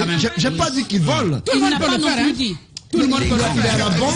Il a forcément, il a forcément des faveurs à la banque. Étant à la banque, il a forcément des Non, mais quand même. Incroyable, c'est incroyable, Quel, montant peut faire de lui un philanthrope? Vous n'avez pas compris. La philanthropie, c'est un caractère que certains ont. Non. Baïdi, avec ce caractère-là, il a fait pour beaucoup d'artistes. Le cas grand-père est une Antoine. Il a fait de lui ce qu'il est aujourd'hui. Je, je vais continuer là. Ahmed Je Côte d'Ivoire était aussi de Je l'État. vais continuer. Je vais continuer. Après, tu vas parler des Il faut le reconnaître, ce mon voleur Donc, et le receleur. les- les- voilà, Voilà. voleur et receleur. Mais vous n'avez pas de preuves non Voilà, c'est ça. Ben, justement. Jacques n'a pas de preuves. Je n'ai pas de preuves, tout comme toi. tu n'as pas de preuves, tu pas volé. ce qu'il dit là, en fait, c'est ça le problème. C'est de ça aussi ça, il c'est faut dans la culture du Parce Guinéen. qu'en fait, ça fait des années. donc même s'il a volé, je ne m'intéresse Ce pas à que je veux dire, c'est qu'on est dans, on est dans Vous le doute. Non, facilement, on englobe les gens. Non, ça me permet, s'il te plaît, que je dise ça. Facilement, c'est, on, on dit, ah, les gouvernements là, les ministres là sont corrompus, les DAF là sont corrompus, mais vous vous rendez compte que, peut-être, dans le lot, il y a des gens qui ont sincèrement travaillé, qui n'ont peut-être pas volé. Maintenant, qui peut nous sortir de ce, de ce doute-là Il faut du C'est la justice. Mais justement, la justice n'a jamais fonctionné, ce qui fait que du coup, on est apte à accuser tout le monde en même temps. C'est comme quand on dit tous les journalistes sont corrompus, tous les médecins sont ceci, c'est cela. Tant que la justice ne fait pas son travail, on va mélanger tout le monde. On en sort des fois avec des personnes bien compétentes qui auraient dû bien fonctionner, mais qui se retrouvent englouties dans, dans, dans ce lot de, de, de jugements. La rupture, la rupture dont je parlais tout à l'heure à commencer déjà par la mise en place de cette institution qui peut donc sanctionner tout le monde. Il n'y a plus d'exception comme euh, ce fut le cas sous le régime Alpha Condé. Les attributions de la haute autorité, de, de la haute cour de justice sont transférées à la CRIEF, ce qui veut donc clairement dire qu'on a donné le ton, on a donné une orientation précise tous les anciens ministres savent désormais qu'ils pourront s'expliquer. On ne dit pas que tout le monde a volé, mais c'est même bien pour eux qu'ils puissent venir devant la justice se blanchir, s'ils peuvent bien se blanchir, Exactement. pour que demain, s'ils se présentent, par exemple, pour ceux qui ont des ambitions politiques devant le peuple pour demander un suffrage, qu'on ne qu'on n'en vienne pas à se poser des questions. Ah, vous avez volé ci, vous avez volé ça. Vous savez, il y a, euh, il y a une, une sorte de, de, de perception, peut-être des C'est vrai. préjugés qui De pèsent, qui collectif. certains. Ouais, c'est ça, Vous, évidemment. vous de prenez, vous prenez quelqu'un comme le Premier ministre Kassori, euh, les gens vont vous dire il a volé. Ouais. Ça, c'est dans la conscience de tout le, Ouais. de, de tout le monde. Ouais. Mais il n'y a jamais eu une démarche judiciaire qui a établi qu'il a effectivement volé. Hmm. Voilà l'occasion qui lui est donnée, lui et tous les autres, de pouvoir s'expliquer devant les juridictions, c'est bien entendu. Hmm. Ça viendra de, de- de la CRIEF et de, du gouvernement. euh, de lui poser un certain nombre de questions sur sa gestion, de pouvoir s'expliquer et s'il il réussit à se blanchir, alors en ce moment, on ne pourra plus garder ces, ces préjugés-là. Et ce travail-là ne peut se faire que pendant cette transition, parce que moi, je ne crois pas à l'après. L'après, je, parce que je ne sais pas ce qui va arriver. Euh, Le, le régime qui va arriver, c'est un régime politique, comme le régime d'Alpha Condé. Il va y avoir des alliances, il va y avoir des amitiés, et donc il va y avoir des hésitations à prendre des décisions courageuses comme celles que le colonel Doumbouya peut prendre actuellement. Parce qu'il ne, on peut dire qu'il ne doit rien à personne, quoi. Justement, c'est bien cela, mon cher Jacques Léo. Allez-y, euh, Antoine. Oui, rapidement, moi, je vais parler de, de cette commission qui a été mise en place hier de récupération des biens de l'État. J'ai vu à la tête de cette commission le, monsieur le ministre de la Sécurité. Quand j'ai vu le nom de Bachir Diallo, j'ai sursauté Ouais. parce que j'ai Alors là, lui, c'est un fou, hein. Ça va barder. Ah ben oui. Ça va barder. Il n'a pas été mis là par Non, hasard. mais le monsieur, je pense qu'il faut qu'il se contrôle un petit peu. hein. Non, mais il faut qu'il se contrôle un petit peu, hein. sincèrement, quoi, parce que on a failli hier. Ouais. Mais je vais dire, un incident diplomatique, Ouais. mais c'est très a grave. failli se produire. Oui, très grave. Je, sais de quoi je Vous n'étiez pas là. Je suis revenu sur les actions qu'il a posées durant le. Il est très dangereux. Attendez, Non, non, non, c'est- attendez que je finisse. Vas-y. Récemment, on parlait de ce bâtiment au Oui. ministère de la Sécurité Oui. qu'il a démoli. Oui. Au-delà de du fait qu'il est décoiffé, Ouais. des caterpillars sont venus Ouais. mettre à terre, à plat, ce bâtiment. Et il dit qu'il va en faire un parc auto, un parking auto pour les Mm. voitures, alors que ça aurait, ça aurait pu servir à d'autres choses. Et je crois qu'il n'a pas été choisi au hasard pour occuper ce Non, mais poste. attendez. Ousmane Gawal est son adjoint. Oui, mais Et bon, ça, ça, euh, je veux dire, ça suffit. Doumbouya ça, ne mis- justifie pas quand même. Doumbouya l'a mis Non, là. mais il gère la Doumbouya- sécurité. Justement, Doumbouya l'a mis mais ça, là. ne- ça- je veux dire, ça ne justifie pas. Justement, il, est, il agit au gré de ses humeurs. C'est pas bon. Doumbouya l'a mis là pour justement aller au front. Mais si, on l'a pas mis là au hasard. C'est au regard de ce qu'il fait est Il gère la sécurité. C'est la sécurité peut-être, mais ça, s'appelle, ça l'intérieur. En tout cas, Oui. tous les ministres de l'intérieur que j'ai vus, Uh-huh. euh, des véritables ministres de l'intérieur, ils ont un peu un tempérament, ce, ce type de Dans tempérament. mon temps, Albert n'était pas chaud de tempérament. Ouais, mais, efficace. mais je ne parle pas de on la n'a Guinée. pas, on n'a pas besoin de ça. Je ne compare pas avec la Guinée. Publiquement. Le ministre Bachir, Tu peux dire tout ce que tu Bachir, veux. pas du tout. Voilà. Bachir Diallo, Ouais. Il n'est pas là au hasard. J'ai la tout. Bien, allez. on a ensorcelé. C'est pas pour rien qu'on est, pas, qu'on est marabout. Allez, on revient. Radio Espace, les grandes gueules. Leur spécialité, c'est la démesure totale. Tant qu'ils ne changeront pas, nous ne changerons pas non plus. Les grandes gueules, à suivre tous les jours sur la radio d'opinion. Radio Espace. L'idée des grands. Espace TV Guinée est sur YouTube. Abonne-toi. Espace Guinée sur YouTube. Espace TV en avance sur les réseaux sociaux. L'histoire d'un homme. Oui, c'est moi. Un homme prêt à tout pour sauver le monde. Oui, ça dépend de ce que tu veux dire par là. Un héros Un héros, C'est un peu rigolo, mais un héros, non. maître en arts martiaux, Ah non, alors là, pas du tout. spécialiste du combat rapproché. Ouh là là, je peux pas me battre. Et avec un corps de rêve. Alors là, tu t'es complètement trompé de personne. Oh, ça va quand même. Quelques kilos en moins, ça te ferait pas de mal, mais... euh, non, t'es bien déjà. Il est de retour. Lamine Guérassi, dans le plus lion des mornings. Rendez-vous lundi, dès 6h15, sur Radio Espace. Bien s'informer, ça demande du temps. Et surtout, se forger une opinion. Du temps pour recueillir les faits. Et recouper tous les faits. De confronter les idées. Les points de vue. Et surtout, les décortiquer. Les analyser, les décrypter. Et puis il faut du temps pour s'écouter, se comprendre. Alors chaque jour, donnons du temps à l'info. Le temps qu'elle mérite. Les grandes gueules, du lundi au vendredi, sur Espace.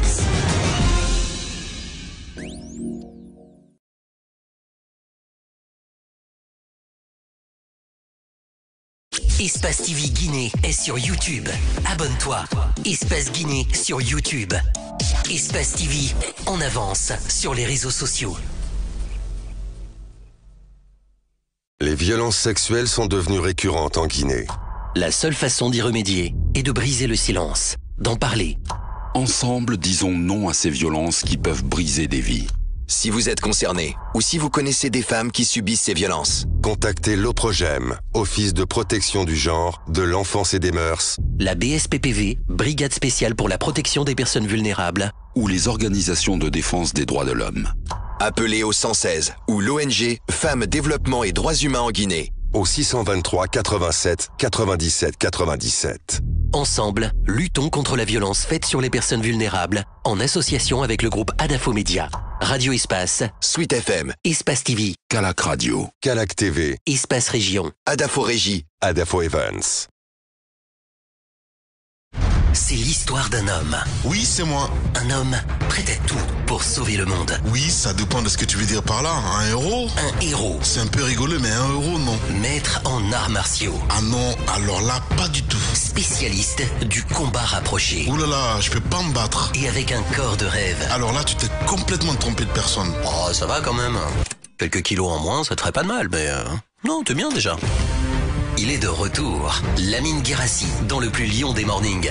Rendez-vous lundi dès 6h15 sur Radio Espace. Vous avez une voiture en panne sur la route? Pensez tout de suite à NCA Assistance Auto. Un service dépannage disponible 24 heures sur 24 et 7 jours sur 7. Plus qu'un service dépannage, NCA Assistance Auto vous assure une assistance remorquage véhicule, une assistance panne résorbable, une assistance près de véhicule une assistance comme Health Safe Borders. Retour à la maison des personnes à bord. Souscrivez NCA Assistance Auto et roulez assuré. NCA s'occupe de tout. NCA, le vrai visage de l'assurance.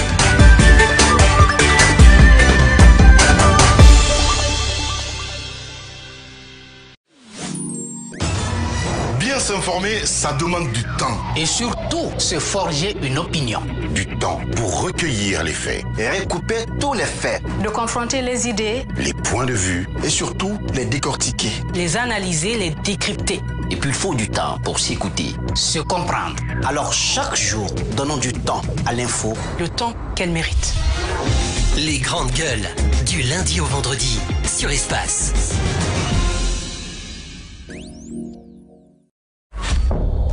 Route pour de nouveaux horizons. Aventure, évasion, rencontre, partage, dépaysement. Voir la Guinée autrement. Pour cette rentrée, nous vous proposons des inédits. Bienvenue sur Adafo Média.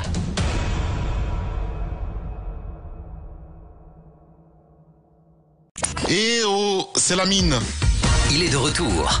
Lamine Guérassi dans le plus lion des mornings. Dès lundi avec tous les moments du matin. Tu n'as pas mis un peu de reverb par là Ah non, pas du tout. Bon, ok. à lundi. Vivez une fête sensationnelle, mortelle, exceptionnelle Euh, multidimensionnel peut-être? Non, désolé. Ah d'accord. Ce modèle d'annonce, il n'y a que Adafo Média pour le faire. Pour toute information, contactez-nous 628 06 06 60. Adafo Média. Et si vous commenciez maintenant? Espace TV Guinée est sur YouTube. Abonne-toi. Espace Guinée sur YouTube. Espace TV en avance sur les réseaux sociaux.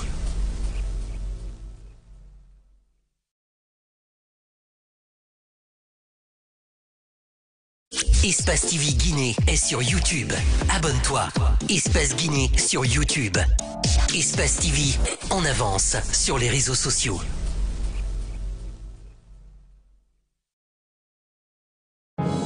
NCA Sonoya, un service à votre disposition pour faciliter vos souscriptions et recevoir vos contrats d'assurance où vous voulez. Rien de plus simple. Enregistrez les numéros 666 18 12 82 ou 621 47 84 79. Ensuite, envoyez-nous vos requêtes sur les mêmes numéros via WhatsApp. Commencez à suivre des instructions du robot en appuyant sur les chiffres 1 ou 2. Pour effectuer votre paiement, vous avez deux options. Par code marchand Orange Monnaie au 1704 14 ou par MTN Moment au 666 18 12 82. Et faites-vous livrer votre contrat où que vous soyez. NC Assurance, immeuble NCA, boîte postale 5884, avenue de la République, Kaloum, Conakry. Retrouvez-nous sur internet en vous rendant au www.groupencia.com ou nous écrire par mail au nciaguinée.groupencia.com. NCA, le vrai visage de l'assurance et de la banque. L'histoire d'un homme. Oui, c'est moi. Un homme prêt à tout pour sauver le monde. Oui, ça dépend de ce que tu veux dire par là. Un héros? Un héros. C'est un peu rigolo, mais un héros, non. En arts martiaux. Ah non, alors là, pas du tout. Spécialiste du combat rapproché. Ouh là là, je peux pas me battre. Et avec un corps de rêve. Alors là, tu t'es complètement trompé de personne. Oh, ça va quand même. Quelques kilos en moins, ça te ferait pas de mal, mais... euh, non, t'es bien déjà. Il est de retour. Lamine Guérassi, dans le plus lion des mornings. Rendez-vous lundi, dès 6h15, sur Radio Espace. Bien s'informer, ça demande du temps. Et surtout, se forger une opinion.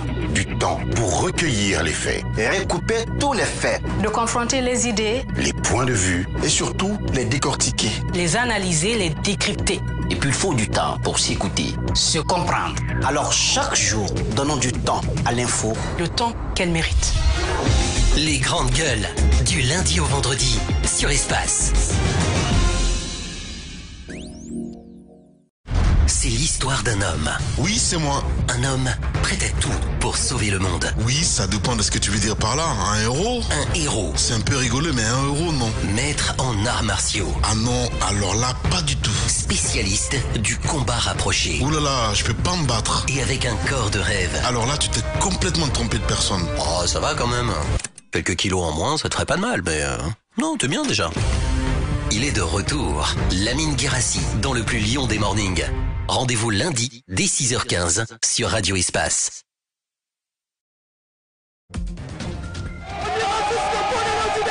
Des réactions euh, à Conakry recueillies par notre partenaire d'Espace TV. Espace TV Guinée est sur YouTube. Abonne-toi. Espace Guinée sur YouTube. Espace TV en avance sur les réseaux sociaux. Les talents sûrs ne meurent jamais. Quelles que soient les épreuves, les difficultés, les crises, les circonstances, ils arrivent toujours à se surpasser et restent sous les projecteurs. Avec l'audace, tout devient possible. Les plus beaux palmarès de l'audiovisuel guinéen, c'est sur Adafo Média. Adafo Média, le futur, vivons-le ensemble.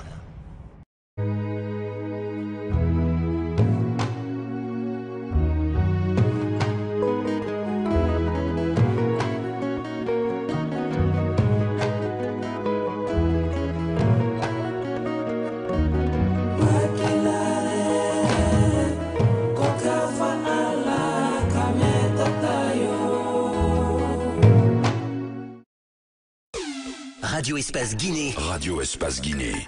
Amalapouya, Gorée, Corera, Boubouya, Dabis, Pont de Fer, Solaya, Limania, Katako, Kolaboui, Filira, Amdalaï sur 99.7. Radio Espace Kakandé, la plus bagataille. La plus bagataille des radios. Eh oh, c'est la mine. Il est de retour. Lamine Guérassi dans le plus lion des mornings. Dès lundi, avec tous les moments du matin. Tu n'as pas mis un peu de reverb par là Ah non, pas du tout. Bon, ok. à lundi. Espace TV Guinée est sur YouTube. Abonne-toi. Espace Guinée sur YouTube. Espace TV en avance sur les réseaux sociaux.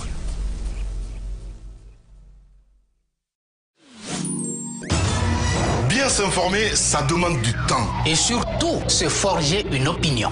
Du temps pour recueillir les faits. Et recouper tous les faits. De confronter les idées. Les points de vue. Et surtout, les décortiquer. Les analyser, les décrypter. Et puis il faut du temps pour s'écouter, se comprendre. Alors chaque jour, donnons du temps à l'info. Le temps qu'elle mérite. Les grandes gueules, du lundi au vendredi, sur Espace.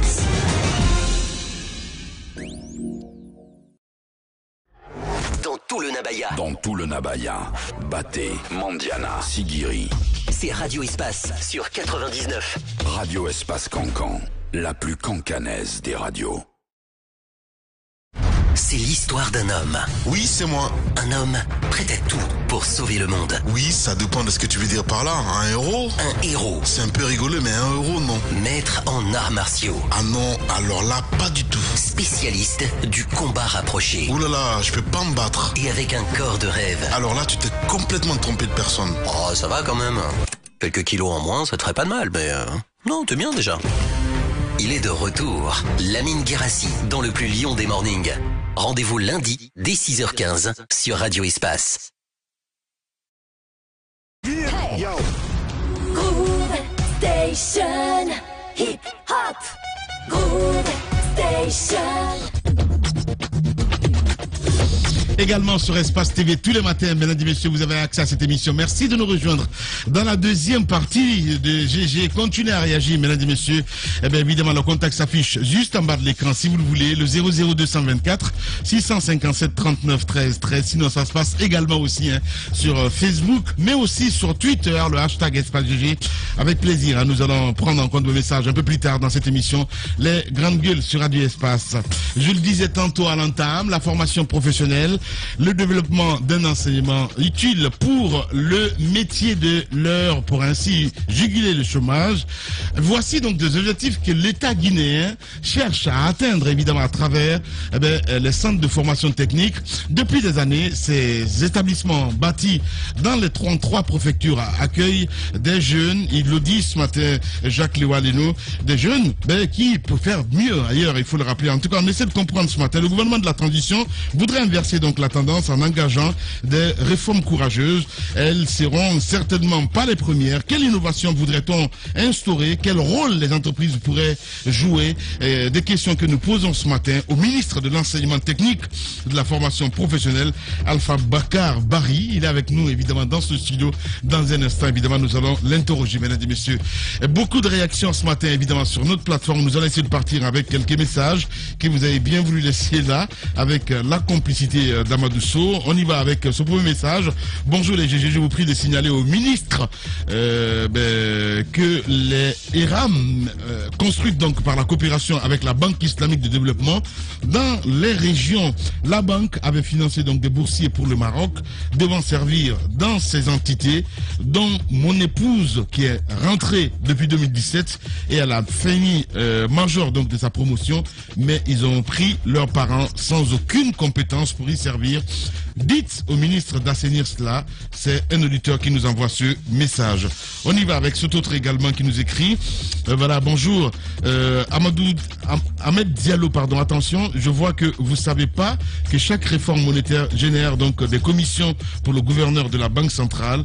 Euh, C'est un auditeur évidemment qui nous envoie ce message et qui continue. Si Alpha Condé avait proposé Baïdi Haribo d'aller enseigner donc à l'université, il n'aurait jamais quitté l'UFR. Voilà, c'est un auditeur qui nous envoie ce message. Bonjour les GG.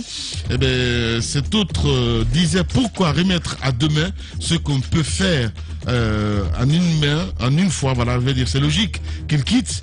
C'est Bocoris depuis kilomètre 36 qui nous envoie ce message. Moussa Moïse, tu es un messie. Voilà, tu mérites plus que tu es ce que tu aujourd'hui. Nous sommes euh, dedans. Aujourd'hui c'est Baïdi, demain c'est une autre personne. C'est un auditeur qui nous envoie ce message. La mine dit à Moïse, nous sommes tous euh, dans ça, mais avec modération. le monsieur est trop gourmand. Combien de fois C'est pas possible. Allez, on va rester dans le sillage avec cet autre également qui nous écrit Bonjour les GG, mes salutations donc euh, à la changée de la mine ce matin. Je condamne cette vidéo de monsieur Baïdi, mais il faut arrêter d'encourager l'adultère. Ce n'est pas parce que les gens le font que c'est bon. Les médias, en plus d'informer, doivent, doivent éduquer. Moïse, il faut te retenir. Hein. Voilà, c'est un auditeur qui nous envoie ce message. Maintenant sur WhatsApp, évidemment, aussi hein, de ce côté avec euh, cet auditeur qui nous écrit.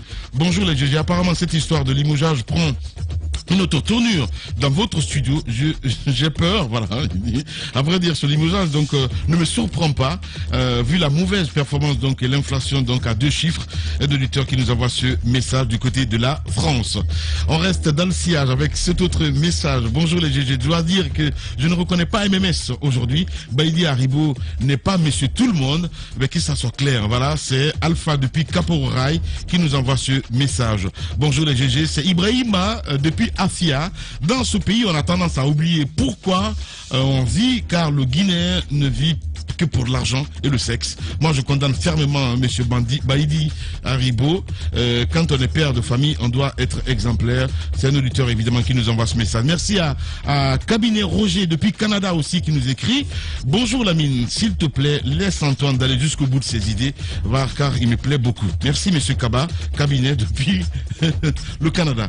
On va rester toujours dans le sillage évidemment avec euh, ses réactions. Maintenant, nous allons partir avec euh, euh, ses réactions hein, de ce côté. Abdoulaye Keita qui nous écrit également du côté de Bokeh. Bonjour Lamine, bonjour à, toute l'équipe. J'écoute, euh, je t'écoute ce matin depuis ma base Team Gel. Euh, euh, bonjour Monsieur le ministre euh, Bokar. Euh, quelles sont les priorités, je dire, quelles sont les priorités pour la formation professionnelle des jeunes minières? Avez-vous fait le constat? Je vous informe qu'à Bokeh, le CFP est en décalage avec le besoin de l'entreprise. Que comptez-vous faire? Voilà, déjà des questions qui tombent. Évidemment, c'est notre ami Abdoulaye Keita du côté de Bokeh qui nous envoie ce message. Je suis le colonel Doumbouya. Dites-lui de dégeler, hein, sinon, eh ben, euh, je l'envoie toute ma famille. Voilà, c'est pas possible. Allez, on va rester euh, dans le sillage avec euh, toujours un de ces auditeurs très nombreux ce matin à, réagir. Maintenant avec cet autre également qui nous écrit.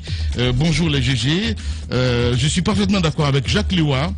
D'où ils prennent l'argent qu'ils distribuent. Malheureusement, Alpha Condé a, été complaisant avec eux.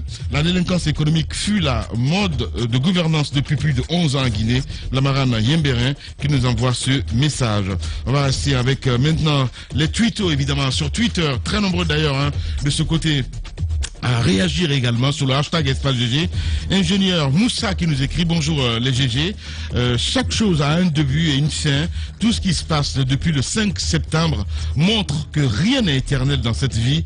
Donc euh, tous ceux que sont, tous qui sont nommés donc doivent se rappeler de ça tout le temps. Bonne chance à tous. Hashtag espace GG. Adolphe Sankariste également qui nous écrit hein, sur le hashtag GG. Sous l'ère d'Alpha Condé, on a tout, on a tout vu. C'était vraiment du dysfonctionnement extrême. Merci à vous.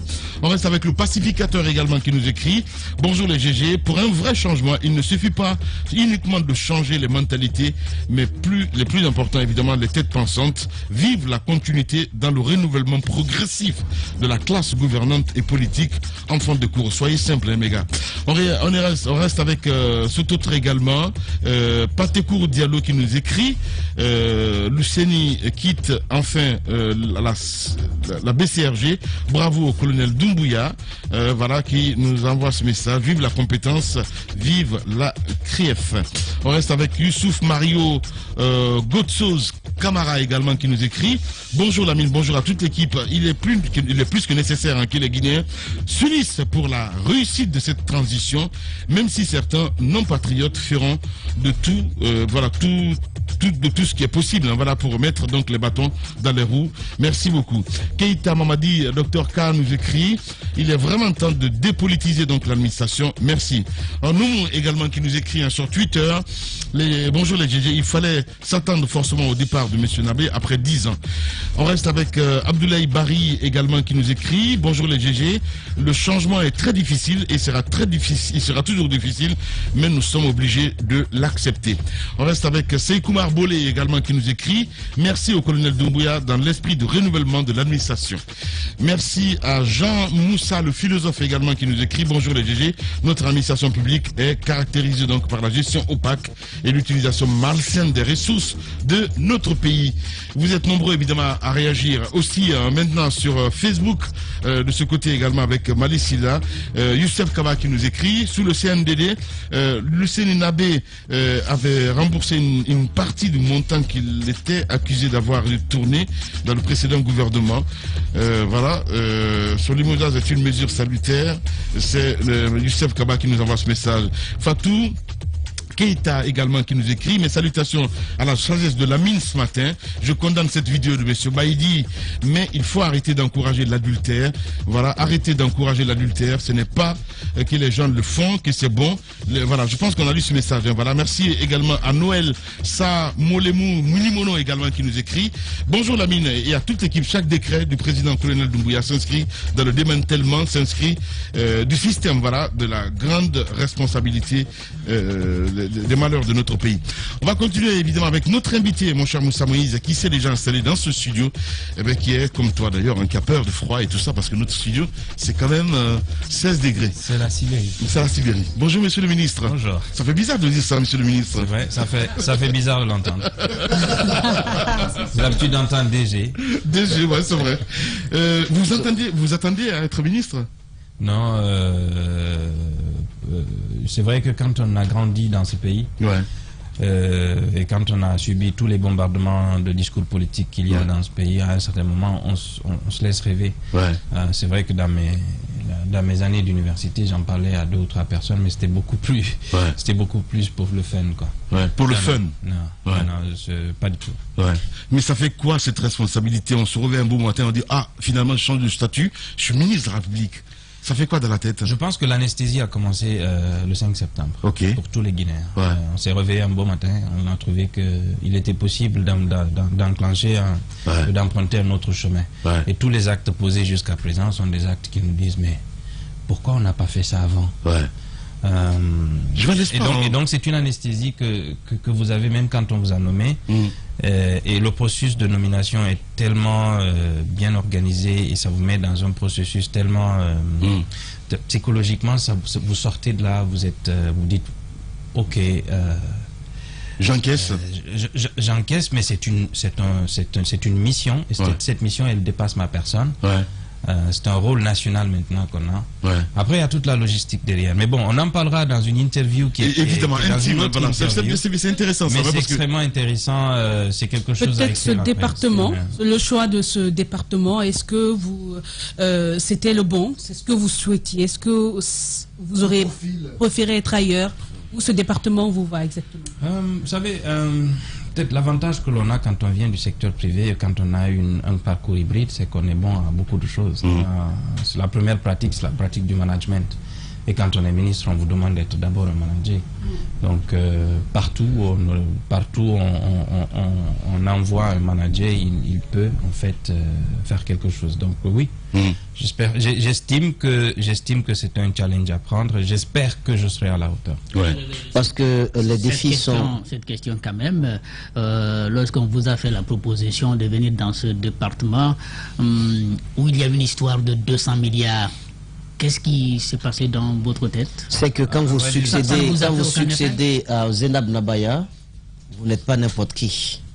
Vous devenez tout de suite quelqu'un qui se dit ben, je dois faire attention à où je mets les pieds, à comment je dois marcher, comment je dois gérer les dossiers. Est-ce qu'il y a eu des a priori de ce genre avant d'accéder à ce poste de responsabilité? Je pense que non. Euh, déjà, je ne connais pas beaucoup de choses sur euh, les, les cas dont vous parlez. Bon, c'est des, c'est des, c'est des informations. euh, Nous connaissons la diplolangue, nous savons que vous êtes au fait de l'actualité de votre pays, vous êtes au courant, de vous suivez bien l'actualité de ce pays, donc vous savez de quoi on parle. Mais c'est Euh, pas grave, on peut euh, continuer. euh, voilà, donc, euh, donc, donc je- je- pour répondre à votre question, le ministère de, de l'enseignement technique et de la formation professionnelle, je le prends comme un challenge, comme beaucoup de challenges que j'ai pris dans ma vie, et je, je l'aborde comme cela. Justement. Ministre normal, on va dire comme ça, évidemment, avec euh, clair- la clarté, hein, c'est très important. Allez-y, Jacques Lévin. Peut-être euh, euh, l'état des lieux, dans quel, euh, dans quel, quel constat vous avez fait lorsque vous êtes arrivé au, au département? D'abord au point de vue organisation. Et puis, euh, on en viendra un peu plus sur euh, les, les- les départements ou disons les, les- les centres de formation puisque vous avez fait une tournée. Mais d'abord au département, qu'avez-vous trouvé? Un personnel euh, vieillissant euh, qui s'est dévoué.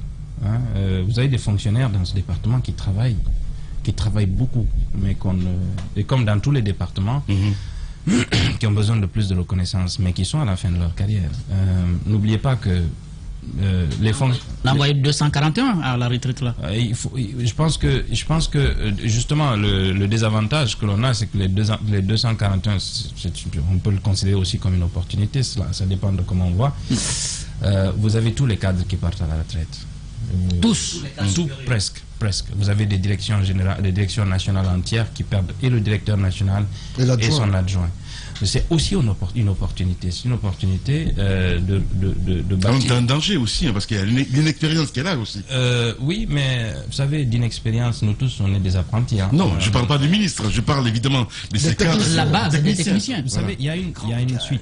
Euh, il y a une suite. Et je pense que dans plusieurs domaines, y compris l'inspection, générale, au niveau de quelques directions nationales, il y a quand même des jeunes hein, qui ont accepté de venir travailler, qui ont donc appris des anciens et qu'il faut peut-être mettre à niveau. Et c'est Mm. ça le, le premier défi. hein. Le Mhm. premier défi, c'est de rebâtir le capital humain.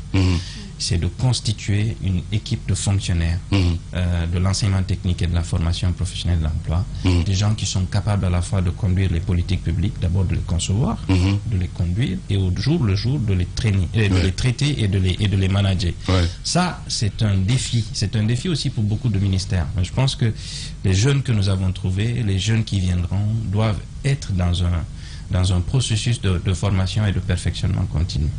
En termes de programme, au niveau humain, d'accord, mais en termes de programme, vous qui connaissez euh, un, un peu ce domaine, parce que euh, vous avez été quand même au cœur de, de, de, de- de la conception de, certains programmes, surtout en lien avec euh, l'enseignement. Alors, comment vous avez trouvé les programmes? Est-ce que c'est au goût du jour? Est-ce qu'il y a une adéquation entre cela et les besoins que nous avons sur le marché de l'emploi? Parce que ce ministère, on n'en parle pas assez, on n'en parle pas assez, mais c'est si ça marche bien, c'est l'un des ministères qui doit apporter la plus grande réponse à la question hein, du chômage dans notre pays. Monsieur le ministre. Hum, vous avez des programmes qui sont vétustes, anciens. Il y en a qui datent de 74, d'autres des années 80. Vous avez des programmes euh, nouveaux, mais qui n'ont pas de personnel d'enseignement. Euh, On n'a pas formé des gens à, à performer et à donner ces cours. Il y a la méthode d'apprentissage qui n'a pas évolué. Euh, maintenant, on est en train d'expérimenter tout ce qu'on appelle la méthode, méthode d'apprentissage APC, apprentissage par compétence, qui est nouveau. Il faut aussi former euh, du personnel pour pouvoir déployer ce genre de stratégie dans nos écoles. Nous avons euh, un personnel, euh, euh, l'autre niveau du personnel d'encadrement, donc tout ce qui est chef d'atelier, chef, professeur pratique et tout ce qui s'ensuit, sont vieillissants et partent aussi à la retraite. Ils font partie des gens qui vont aller à la retraite. L'essentiel des enseignants qui font euh, les travaux pratiques dans les écoles professionnelles partent aussi à la retraite. Il faut les reconstituer. Donc vous avez un mix entre un programme vieillissant, un personnel vieillissant et des écoles vétustes. Euh, c'est ça le c'est ça le bilan. Il y a aussi des choses positives. hein. Euh, il, y a, il y a- il y a de nouvelles écoles, il y a de nouveaux types d'écoles. Euh, Quelqu'un en Les l'heure. Euh, qui l'infrastructure est là. Certains, pour certains, il y a les équipements, mais encore une fois, il manque du contenu. Est-ce que vous allez aller avec une stratégie de, de puiser dans le secteur privé? Parce que il peut y avoir du répondant pour certains besoins euh, au niveau de, de- votre département. Et nous avons des jeunes qui sont bien, qui sont denses, qui sont venus de l'étranger pour certains, mais qui évoluent dans le secteur privé, qui peuvent peut-être apporter un coup de main à, à- à un peu pour l'avancée de, votre aborder- département. On peut aborder cette question parce que c'est une question aussi qui a plusieurs défis. Il, y a la- il y a le défi de l'attractivité. Euh, les gens ne viennent pas à l'enseignement. Depuis que je suis ministre, pour- personne ne m'a appelé pour dire je veux être enseignant dans une école. Gens- Mhm. Tout le monde veut avoir des postes ailleurs. Euh, c'est pas pas pas très valorisé. Il faut le rendre attractif. Ouais. Il, faut, il, faut, il faut y donner du sens. Il faut que les gens apprennent aussi à venir donner. euh, c'est- le sens même euh, d'un des axes que j'ai choisi dans la, dans, la stratégie que nous allons met- mettre en place. C'est le sens du, de la citoyenneté. Il faut qu'on exprime de la citoyenneté dans l'école. Moi, je l'ai fait pendant dix ans. J'ai enseigné gratuitement à l'université. Il faut que d'autres personnes qui Ouais, ont ces que faire justement pour que ça soit attractif? Parce Il que faut- il faut quand on parle de- des programme. rurales, c'est, je veux dire, c'est, l'enfer. C'est vrai, Lamine, vous Il faut partez au aménager de CFP. l'espace. Mais revenons déjà Oui. tout de suite au constat. Euh, L'autre constat aussi que vous trouvez dans ce genre de département, c'est qu'il n'y a pas d'outils de travail et les travailleurs ne sont pas motivés. Ils ne sont pas, on n'a pas l'impression qu'ils sont dans une équipe. Euh, on ne se connaît pas assez. Vous avez 92 personnes, par exemple, qui travaillent au ministère, dans le département, et vous n'avez que 9 ordinateurs. Euh, vous avez des bureaux qui sont dans un état de vétusté extrêmement poussé on ne peut pas demander beaucoup de performance à, à des fonctionnaires dans ces conditions-là. Donc il faut peut-être il faut am- am- améliorer tout ceci, les conditions de vie, il faut améliorer les conditions de travail, il faut repenser la- le management pour ne pas que le ministre soit enfermé dans son bureau, dans sa tour d'ivoire et qu'il ne, remonte- qu'il ne, qu'il ne reçoive pas d'informations. Donc parler avec les gens, interagir, mettre un cadre d'évaluation, d'abord un cadre de Un enseignant, un d'évaluation. enseignant d'une un enseignant d'une école euh, professionnelle, euh, c'est quoi sa vie? Comparé à l'enseignant d'une école euh, euh, secondaire, par exemple Les mêmes, ils ont les mêmes vies. Vous avez, moi je suis fils d'enseignant. Vous avez un salaire à la fin du mois que vous dépensez pour 80% dans, dans, dans, dans, dans le transport, dans, dans ce qui entre dans votre vie de famille, etc. Et des fois, pour certaines écoles, vous êtes obligé de, puisque vous êtes un, un éducateur aussi, un père de famille, de, de, de mettre la main à la poche pour pouvoir justement dépanner une ou deux personnes. C'est ça la vie d'un enseignant. Est-ce est-ce que ça veut dire qu'au niveau même des politiques publiques, il y a comme un désintérêt quand on compare par exemple au, au, au départ, à l'enseignement supérieur? Est-ce qu'on peut dire qu'il y a un désintérêt? Même à l'enseignement supérieur, je pense que le domaine de l'éducation en général, c'est un, un parent pauvre. Il faut, il faut repenser le financement de l'éducation dans ce pays. Il faut, il faut repenser aussi euh, le travail, hein, la question même euh, de- de- d'emploi, attirer les, les- pour attirer les, les talents dans l'éducation, pour attirer les compétences dans l'éducation. Il faut y mettre, euh, un, il faut mettre un certain nombre de mécanismes inci- incitatifs. Ça, ça prend le salaire, mais aussi à d'autres mécanismes, hein, la sécurité sociale, ça prend le logement, ça prend le transport, etc. Il faut mettre tout ça en musique pour que, à la fois, on ait des, des, Des avantages. enseignants motivés, des élèves motivés. Donc, l'autre bonne chose que j'ai trouvée en termes de bilan dans ce, dans ce département, c'est que dans chacune des écoles, vous trouvez des enfants assis qui ont envie d'apprendre quel que soit l'état de vétusté des écoles. si vous voyez l'école de chemin de fer de, de Kaloum, c'est une école qui date des années 40, qui a formé beaucoup de gens, beaucoup de cheminots dans ce pays, mais qui est réduit à, plus, à moins de 300 mètres carrés. Les bancs qui étaient là dans les années 50, ce sont les bancs, mêmes bancs que vous retrouvez dans cette école. Quand vous partez au CFP de, Ma- de, de Ratoma, le CFP, le CFP de, Ma- de Ratoma, est- c'est une vieille ferme euh, d'élevage de porc qui a été créée en 1920 par un Français. Quand on a eu l'indépendance, on a récupéré euh, le, le- le foncier, on en a fait une école. Il y a eu quelques maisons construites à côté, on a mis une direction. Je suis parti là-bas 100 ans plus tard.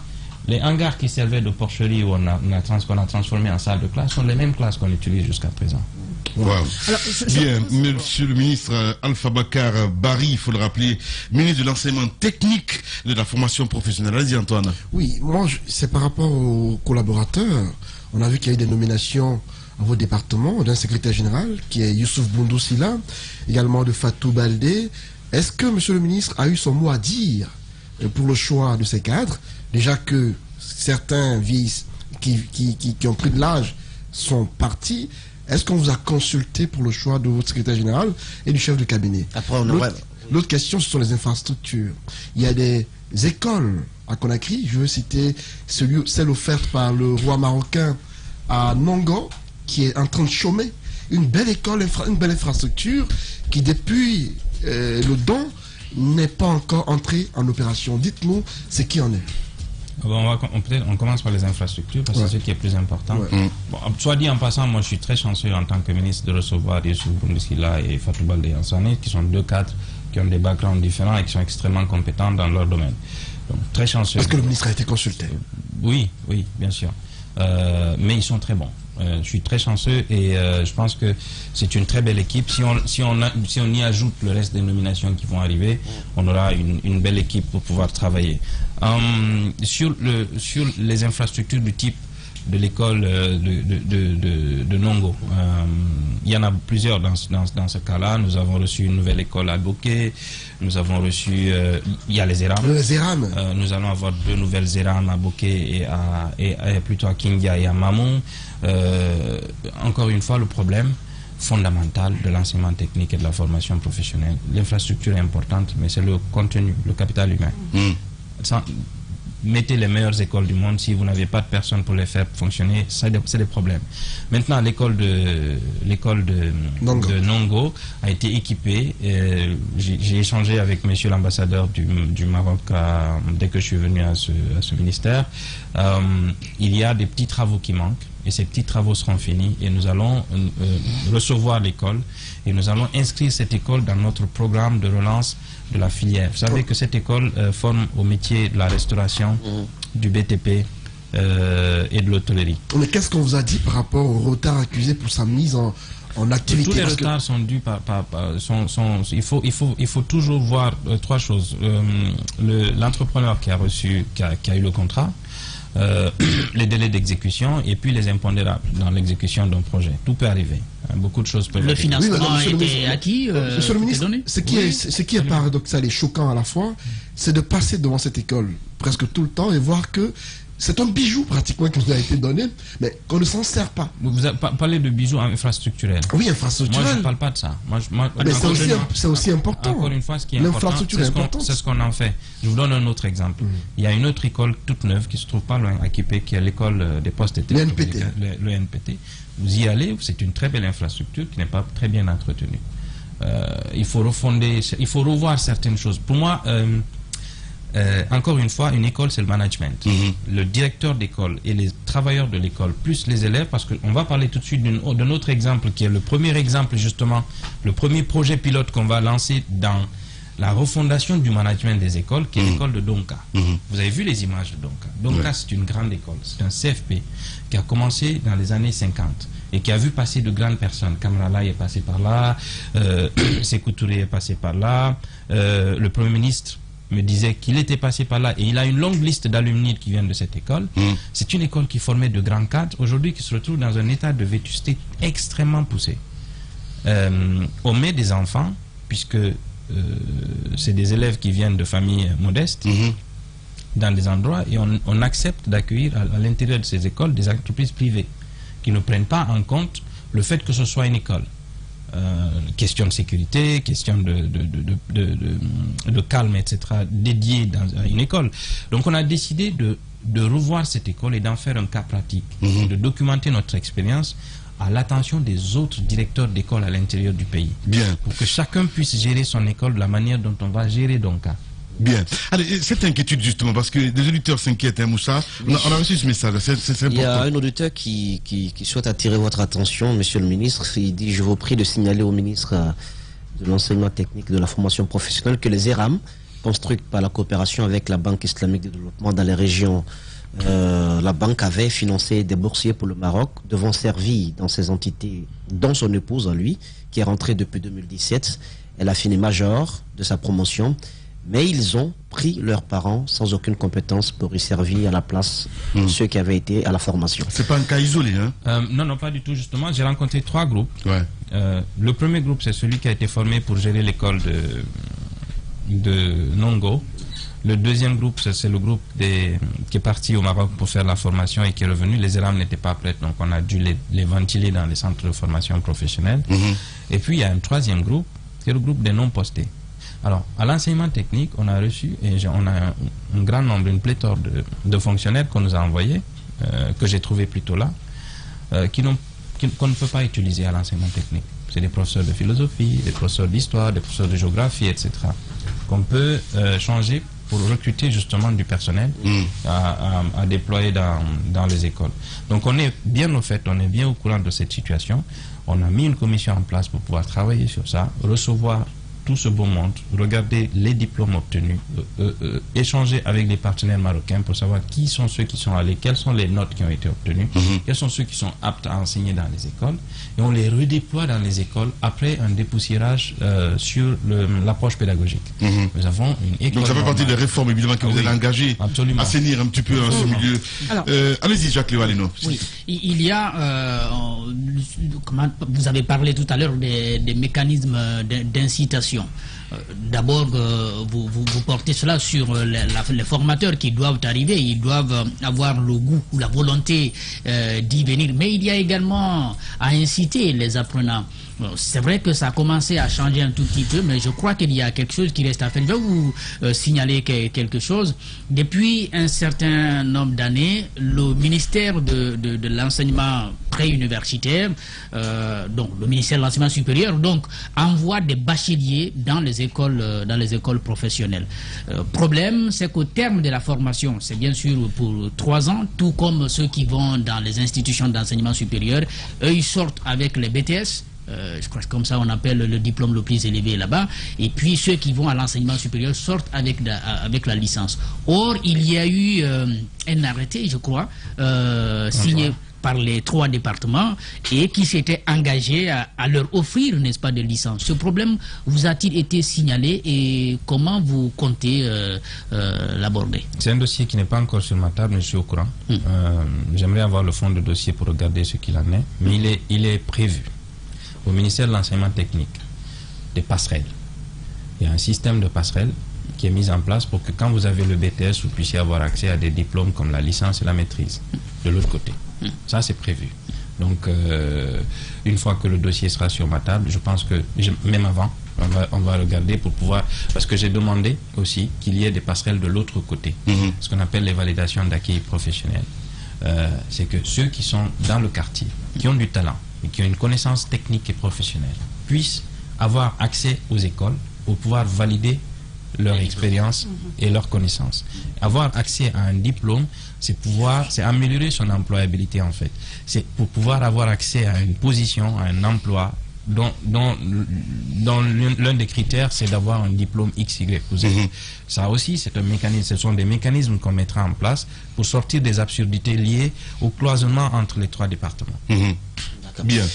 Le ministre de l'enseignement technique et de la formation professionnelle, donc notre in- invité ce matin. Allez-y, mon cher Je, je vais en placer deux. Euh, euh, la première, c'est un peu lié euh, au danger que, que, que guette un peu notre jeunesse parce que qui dit, à mon avis, enseignement euh, professionnel parle de bras valides, parle des jeunes, parle donc du- de la majorité de, de la population guinéenne. Donc du coup, il y a des métiers pour lesquels euh, cette couche-là euh, juvénile est en danger. Je prends le cas, par exemple, de, des BTP, de la construction. Euh, je n'ai absolument rien contre euh, les Turcs, mais vous avez des métiers qui peuvent être valablement euh, euh, exécutés ou, ou pratiqués par des Guinéens qui sont aujourd'hui l'apanage d'étrangers, donc qui sont dans la construction alors que nous avons ils sont pas assez nombreux, mais nous avons quelques ingénieurs qui sont dans les BTP et qui peuvent le faire et qui peuvent pas rivaliser malheureusement avec un Turc. La mine, euh, euh, euh, Jacques Lewaleno pour son chantier, il va préférer un Turc à, un Guinéen, même si le Turc coûte un peu plus cher.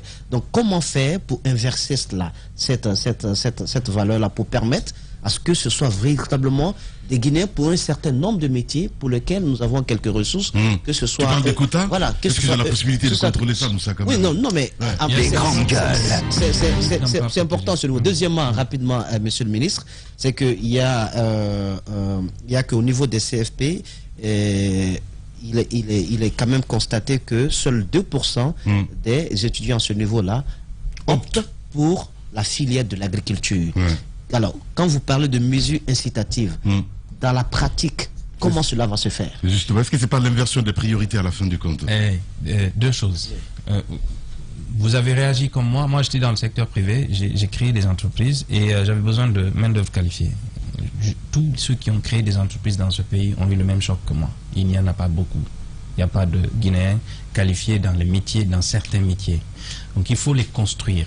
Donc, il faut, il faut reformer les, il faut reformer les, les, les- les- les cycles de formation. Je, je parle justement dans le domaine des BTP, des maçons capables de vous faire des murs droits, il n'y en a pas beaucoup. Attention. Pas, ma- moi, le, le premier objectif des Non, mais au moins, au vous êtes réaliste, monsieur le ministre, parce que lui, des- c'est le euh, comment le nationalisme, ah, mais, mais exagéré. Je parle de Moussa Moïse ici, là. Allez-y. Les journées, de- de- les journées que nous organisons, la première mission, c'est une mission de vérité. De dire, de faire un diagnostic sans, sans parti pris et sans conditionnement politique, rien du tout. C'est de dire, nous n'avons pas beaucoup de gens qualifiés dans ce pays.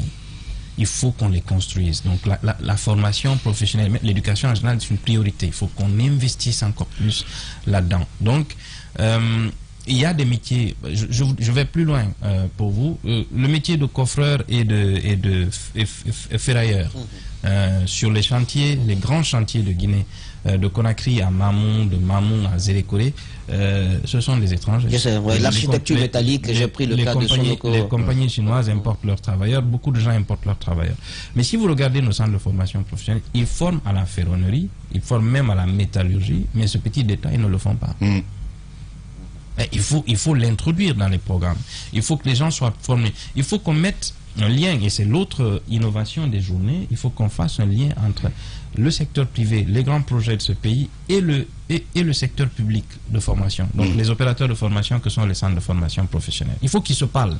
S'ils ne se parlent pas, on ne peut pas former. Il faut déjà que nous, on soit capable d'identifier les endroits où on va placer nos jeunes avant de concevoir les formations. Et en parlant d'agriculture, je vais vous donner le, le chiffre. Je crois que c'est entre 15 et 20 jeunes qui ont accepté cette année dans, 20 toute- jeunes dans toute la Pour toute Guinée, la République. euh, si je ne m'abuse, d'aller vers les NAE. Nous avons des écoles nationales d'agriculture et d'élevage, mais pour vous dire la vérité, ils ne font pas grand-chose. Pas grand-chose, c'est pas très attractif. J'ai visité une. Peut-être c'est une question aussi de, de déboucher. Il faut, il faut faut- qu'est-ce qu'il y a qu'à faire justement pour chance- inciter J'ai eu la chance dans une autre vie d'investir dans l'agriculture, de beaucoup investir dans l'agriculture. Vous ne trouvez pas de jeunes Guinéens capables de vous suivre, d'avoir euh, euh, le parcours technique, par exemple, du riz, de l'ananas, tout seul, de, faire, de, de vous dire l'ananas, voilà où vous trouvez ça, voilà comment vous le plantez, voilà comment vous le, le récoltez, etc., etc. Ça ne prend pas du bac plus 2. Il faut le former. Donc la, la, la réforme qu'on veut apporter aux NAE, c'est d'abord de former des jeunes utiles utiles à notre agriculture, mais utiles à eux-mêmes. Donc deux parcours. Le- L'exploitant agricole, donc l'entrepreneur, l'agripreneur, comme je dirais, parce qu'on veut transformer les NAE en incubateurs agricoles. L'agripreneur qui sort de là, il faut qu'il connaisse, qu'il sache quelles sont les grandes pratiques, le classique. Ensuite, les innovations qu'il y a dans l'agriculture. Aujourd'hui, vous pouvez avoir un- un- une ferme piscicole hors sol chez vous, dans votre maison, produire votre propre poisson. Vous pouvez avoir de la, vous pouvez investir dans Ça la s'apprend, ouais. l'apiculture. Ça fait six mois, ensuite vous ajoutez six autres mois, vous devenez un expert dans ce domaine-là et vous pouvez investir. Vous pouvez quitter Koba, vous rentrez à Cancan, vous mettez votre petit bassin piscicole et vous faites une exploitation piscicole où vous vendez du poisson. L'objectif, c'est de sortir de ces écoles des entrepreneurs qui- plutôt des gens qualifiés, qui sont capables tout seuls de faire quelque chose de concret. Ensuite, on apporte à ces jeunes des, euh, une certaine capacitation, je ne sais pas si ça se dit, une cap- à- améliorer leur capacité pour qu'ils puissent justement être des, entrepreneurs accomplis. Et si on met un petit mécanisme de financement sur cela, du- du- du- de la subvention de démarrage, vous, vous pouvez créer seulement avec le réseau des NAE, parce qu'il couvre tout le pays, euh, il y en a à Koba, il y en a en Haute-Guinée, il y en a en Moyenne-Guinée, il y en a en Guinée forestière, vous pouvez créer un réseau d'agripreneurs. Ces jeunes qu'on cherche aujourd'hui qui veulent investir dans Agripreneurs, ouais. Bien. Qui, qui, qui emploient plus de Non, qui emploient plus de main-d'œuvre que, Voilà. que, que les mines. Mais, mais comment comprendre quand même hein, le, le- le- le pourcentage? Quand on parle de 2%, qu'est-ce que vous faites dans ce sens-là? Pour inciter ces jeunes à Amadousso qui veut être agripreneur demain euh, Comment faire en fait pour qu'ils puissent se dire oui, je vais aller dans, dans, dans, dans ce domaine-là? Lamine, deux choses. Première Ouais. chose, il faut que les écoles dans ce domaine soient attractives. Ouais. Il faut qu'elles soient sexy. Du- faut- faut qu'on le- sexy. Ben oui. Les il, faut qu'on montre, gueules. il faut qu'on montre dans ces écoles ce qui est, f- ce qui est fait. Ouais. Aujourd'hui, le Guinéen lambda ne sait pas il y a combien d'écoles professionnelles dans ce pays, qu'est-ce qu'elles forment à quoi. Quand tu en sors, tu as quel diplôme et puis tu es bon à quoi. Mhm. Justement. Tu es En employé même temps, à c'est comme si c'était une ça en fait, à Mais final- finalement, ce qui manque, est-ce que c'est pas cette vision même d'un État de, se, de, de, de dire voilà ce qu'il faut à notre État, on a ses besoins et c'est ainsi qu'on pourrait avoir les ressources humaines, euh, l'adéquation entre euh, la demande et, je crois c'est l'expression, la demande et l'emploi sur le terrain. La demande et l'offre. l'offre, l'offre, voilà, l'expression m'échappe. Est-ce que c'est pas ce manque de vision quand même? Cette démarche a été réglée. Le monsieur le Premier ministre a été clair. Quand, pendant la retraite de Kindia, on a dit il faut investir dans l'employabilité des jeunes. Donc il faut investir dans la qualification et puis dans l'adéquation entre cette qualification et la demande. On a travaillé sur cela, on a un plan d'action. Pendant les journées de formation, les journées de la formation professionnelle, on vous dira le diagnostic, qui a été fait sur une base euh, où les cadres ont travaillé pendant longtemps. On vous montrera une stratégie et on vous dira voilà où on va. Euh, voilà ce qu'on va faire par exemple dans le domaine de l'agriculture, des écoles d'agriculture. Vous aurez le ministre de l'Agriculture qui viendra s'asseoir et qui dira j'ai besoin de faire ça et j'ai besoin de tel type de main d'œuvre. Nous on se positionne maintenant dans le gouvernement Ouais. comme étant un opérateur de formation pour l'ensemble du gouvernement. Ouais. Le ministre des Mines vien- viendra nous dire Justement. voilà ce dont on aura besoin dans, dans, dans, dans ce secteur. Mhm. Euh, la ministre de la Pêche vous dira voilà ce dont on aura besoin dans ce secteur. Et de l'autre côté, le secteur privé viendra nous dire euh, nous, a- nous aurons tel investissement sur tel, tel nombre d'années, voilà ce dont on aura besoin. Et le tout sera compilé. Ça sera un document qui va nous servir de boussole et qui va justement générer des données. Vous avez remarqué que depuis que je suis là, je ne vous donne pas de données. Bien sûr. elles n'existent pas. de chiffres. Waouh. Bah oui. Il Ça, faut les créer. C'est Il vraiment le il mal guinéen un d'ailleurs. hein. mécanisme pour collecter des données et les mettre à la disposition des, des- des populations et des usagers. Mhm. L'année prochaine, notre objectif, c'est qu'à la rentrée prochaine, que les enfants qui viennent dans les écoles soient au fait qu'on les o- on peut les orienter, mais Mhm. qu'ils sachent Qu'on les oblige à y aller. qu'ils Ah oui. sachent au départ que quand je vais dans une école de BTP, je vais en sortir avec tel diplôme, je pourrais en sortir avec tel travail. Emploi Et je pourrais- garanti au fait. Parce que à ce niveau, il faut. ce moment, parce que on c'est ne surtout décrète ça. pas, malheureusement, on ne décrète pas l'emploi. C'est un processus économique, on ne le décrète pas. Mais il faut que le jeune soit prêt à occuper l'emploi. Bien. Et, et surtout, le jeune aujourd'hui en Guinée, on a l'impression que lorsqu'on sort euh, cadre avec l'enseignement supérieur, on a plus de valeur que quand on va dans les écoles. Ceci est une construction historique erronée. Voilà. Euh, Alors- depuis 58, si vous n'avez pas un universitaire entre griffes dans votre famille, vous avez l'impression que vous n'avez pas réussi. Hmm. C'est ça d'abord, c'est notre construction sociétale qui a, qui a- qui a lésé le- l'enseignement technique et la formation professionnelle. On a l'impression, à tort, que ceux qui y vont, c'est ceux qui ont échoué dans le supérieur. Hmm. Alors que ceux qui y vont sont des gens qui sont déjà prêts à aller vers l'emploi et qui, sont, qui aiment certains métiers qui sont emplois- en- en- enseignés dans ces écoles-là. Justement, je pense qu'on a la réponse pour à cette question hein, voilà, de, de, de cet auditeur hein, qui disait, Monsieur le ministre, vous avez démarré donc les négociations avec les miniers. Euh, nous avons appris que, ben, qu'ils ont appris que vous avez négocié avec les miniers. C'était quoi l'objectif final? J'imagine, parce que vous l'avez dit tout à l'heure, que vous allez rencontrer tous les ministères, une manière de faire le, le, le- le point et puis euh, savoir surtout les besoins euh, qui s'y opèrent. Allez-y, euh, Jacques Lévaleno. Euh, moi, c'est c'est sur- sur- au niveau de la formation de, de base. Aujourd'hui, vous êtes en train de, de régler le problème avec certaines filières, dans les, euh, à l'ENA, mais également dans, dans les ERAM. Vous prenez les bacheliers, c'est la même chose pour euh, les, les écoles normales d'instituteurs. Mais aujourd'hui encore, on a le sentiment que pour ce qui concerne la santé communautaire, on prend un peu plus bas, euh, parfois au collège, niveau collège. Est-ce que vous, vous, vous pensez que c'est normal? Il y a, il y a un gros sujet autour des écoles de santé, de façon générale. Il y a un gros sujet. Parce qu'on veut les sortir de là pour envoyer euh, au ministère de la Santé Non, non, non, non, pas du tout. C'est pas cela. C'est que il y a une pléthore d'écoles de santé. Tout le monde maintenant, avec une chambre et un salon, veut construire son école de santé. Et en général, on ne suit oui. pas. On est en train de, mener une de vraies réflexions pour reformer ce secteur et permettre d'avoir d'abord des cahiers de charges pour que chacune des écoles qui se créent puisse respecter ces cahiers de charges. On n'est pas encore arrivé à l'ANAC. On ira à l'ANAC Pro. Euh, mais avant qu'on y soit, il y a une urgence. Il faut réglementer ce secteur. Il faut que les gens arrêtent de créer n'importe qui ou n'importe où et n'importe euh, comment des écoles de santé et de former des gens, des enfants et de leur donner des parchemins et d'en faire. Des fois, on les appelle à tort d'ailleurs docteurs dans les zones ru- ru- rurales. Rurales, oui. Euh, on les appelle docteurs. Et vous savez, à partir du moment où le, méde- le, le patient vous appelle docteur, il baisse la garde. Il vous fait confiance. Il vous fait confiance. Et, et c'est de là que, que, que peuvent venir tout- tous les abus euh, qu'on connaît. On- est en train de mener une vraie réflexion dessus pour sortir de une, une vraie stratégie euh, et, et réglementer ce secteur. Il y a beaucoup de gens tous les jours qui veulent créer des écoles de santé. Si Mm. vous partez à Kindia, vous en trouverez une pléthore. Euh, ils ne respectent pas Donc, c'est pas réglementé, hein, c'est Ouais, bien il faut, il faut y aller, il faut réglementer, il faut mettre une instance d'analyse et de qualité qui puisse justement euh, prendre en charge euh, ce genre de questions. Justement. L'enseignement à l'honneur ce matin chez les juges. Allez-y, mon cher Antoine. Oui, monsieur le ministre, toujours dans le cadre de l'attractivité du secteur, comment rendre le département ou encore le, le secteur de l'enseignement technique sexy, comme vous l'appelez? Quelles sont vos quelles sont vos stratégies? Quelles sont les méthodes que vous allez mettre en place pour pouvoir attirer le maximum de personnes vers ces différentes filières? Est-ce qu'il y a des réformes en cours? On parle de journées euh, bientôt qui vont se tenir. Parlez-nous un peu des réformes que vous comptez envisager euh, dans les jours à venir. Alors, au- au-delà des journées, les journées sont faites d'abord pour, pour attirer l'attention sur l'enseignement technique et la formation professionnelle. Elles auront lieu quand et Communiquer ce secteur. sont les 9, 10 et 11 euh, de ce mois. Ce sera au chapiteau Baïssa où on aura à la fois l'enseignement, le- les, les professionnels de l'enseignement technique qui vont dire, qui vont faire le bilan. Ensuite, on aura le secteur privé qui viendra pour parler des perspectives et de leurs attentes en termes de qualification de main-d'œuvre qualifiée. Et la troisième journée sera la journée des partenariats. Parce que nous avons estimé que là aussi, nous devons faire participer un certain nombre de personnes. Les partenaires techniques et financiers doivent être orientés sur un investissement im- impactant. Le secteur privé doit pouvoir participer à la gestion de l'école.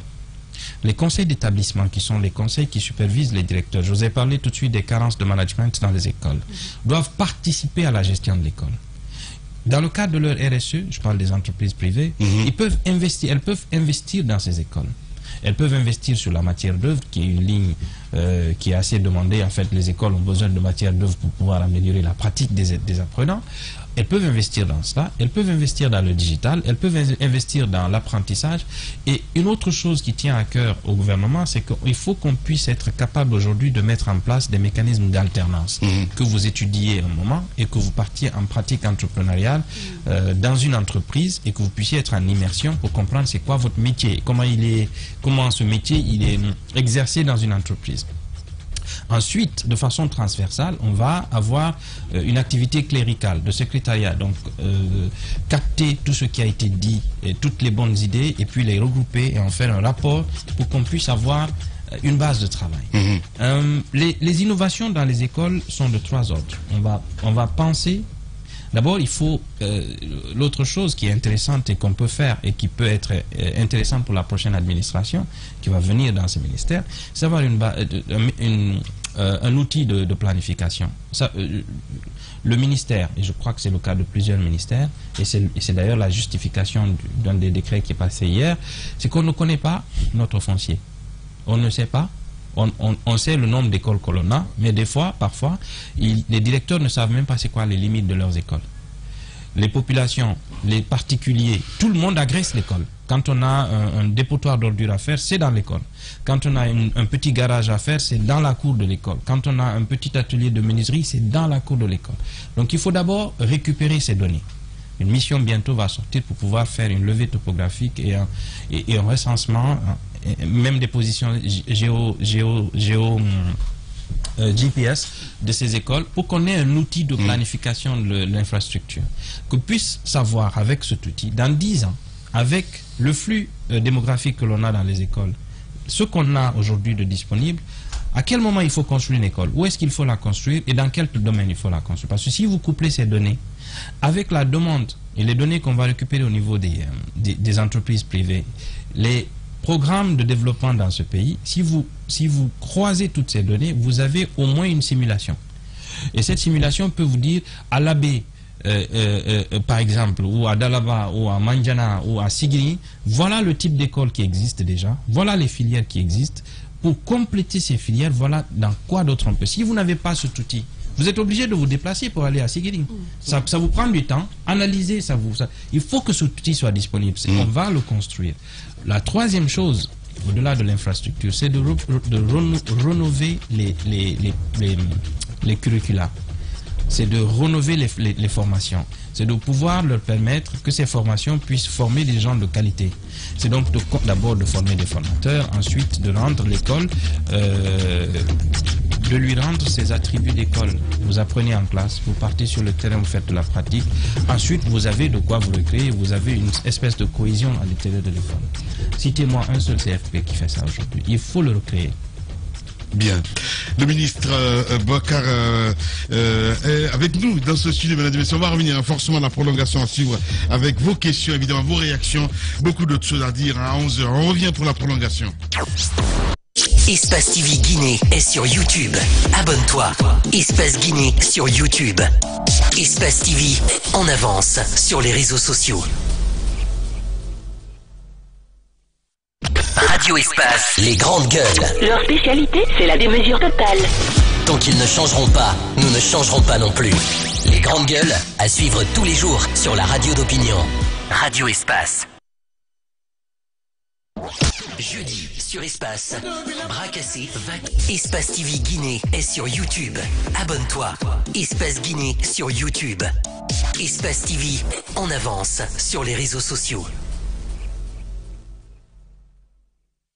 C'est l'histoire d'un homme. Oui, c'est moi. Un homme prêt à tout pour sauver le monde. Oui, ça dépend de ce que tu veux dire par là. Un héros? Un héros. C'est un peu rigolo, mais un héros, non. Maître en arts martiaux. Ah non, alors là, pas du tout. Spécialiste du combat rapproché. Ouh là là, je peux pas me battre. Et avec un corps de rêve. Alors là, tu t'es complètement trompé de personne. Oh, ça va quand même. Quelques kilos en moins, ça te ferait pas de mal, mais... euh, non, t'es bien déjà. Il est de retour. Lamine Guérassi, dans le plus lion des mornings. Rendez-vous lundi, dès 6h15, sur Radio Espace. Bien s'informer, ça demande du temps. Et surtout, se forger une opinion. Du temps pour recueillir les faits, Et recouper tous les faits. De confronter les idées, les points de vue et surtout les décortiquer. les analyser, les décrypter. Et puis il faut du temps pour s'écouter, se comprendre. Alors chaque jour, donnons du temps à l'info. Le temps qu'elle mérite. Les grandes gueules, du lundi au vendredi, sur Espace.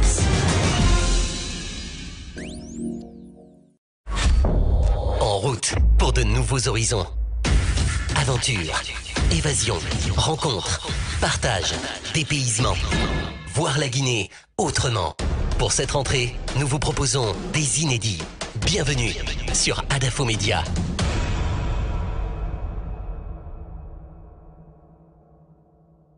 Et oh, c'est la mine. Il est de retour. Lamine Guérassi dans le plus lion des mornings. Dès lundi, avec tous les moments du matin. Tu n'as pas mis un peu de réverb par là Ah non, pas du tout. Bon, ok. À lundi. Vivez une fête sensationnelle, mortelle, exceptionnelle Euh, multidimensionnelle peut-être? Non, désolé. Ah d'accord. Ce modèle d'annonce, il n'y a que Adafo Média pour le faire. Pour toute information, contactez-nous 628 06 06 60. Adafo Média. Et si vous commenciez maintenant? Espace TV Guinée est sur YouTube. Abonne-toi. Espace Guinée sur YouTube. Espace TV en avance sur les réseaux sociaux.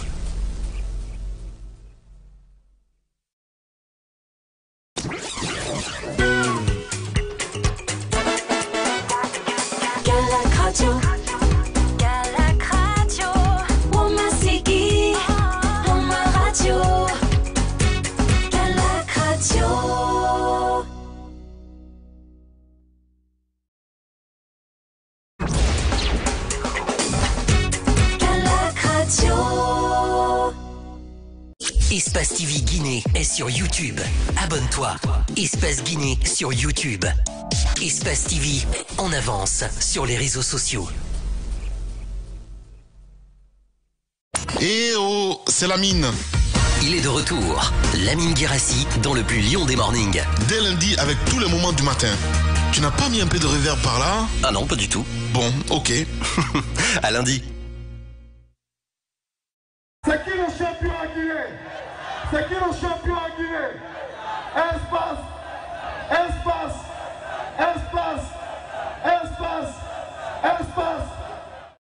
C'est l'histoire d'un homme. Oui, c'est moi. Un homme prêt à tout pour sauver le monde. Oui, ça dépend de ce que tu veux dire par là. Un héros Un héros. C'est un peu rigolo, mais un héros, non. Maître en arts martiaux. Ah non, alors là, pas du tout. Spécialiste du combat rapproché. Ouh là là, je peux pas me battre. Et avec un corps de rêve. Alors là, tu t'es complètement trompé de personne. Oh, ça va quand même.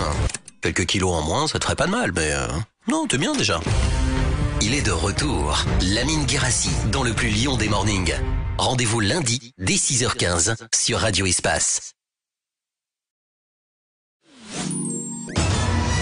S'informer, ça demande du temps. Et surtout, se forger une opinion. Du temps pour recueillir les faits, Et recouper tous les faits. De confronter les idées, les points de vue et surtout les décortiquer. les analyser, les décrypter. Et puis il faut du temps pour s'écouter, se comprendre. Alors chaque jour, donnons du temps à l'info. Le temps qu'elle mérite. Les grandes gueules, du lundi au vendredi, sur Espace. C'est l'histoire d'un homme. Oui, c'est moi. Un homme prêt à tout pour sauver le monde. Oui, ça dépend de ce que tu veux dire par là. Un héros? Un héros. C'est un peu rigolo, mais un héros, non. Maître en arts martiaux. Ah non, alors là, pas du tout. Spécialiste du combat rapproché. Ouh là là, je peux pas me battre. Et avec un corps de rêve. Alors là, tu t'es complètement trompé de personne. Oh, ça va quand même. Quelques kilos en moins, ça te ferait pas de mal, mais... euh, non, t'es bien déjà. Il est de retour. Lamine Guérassi, dans le plus lion des mornings. Rendez-vous lundi, dès 6h15, sur Radio Espace.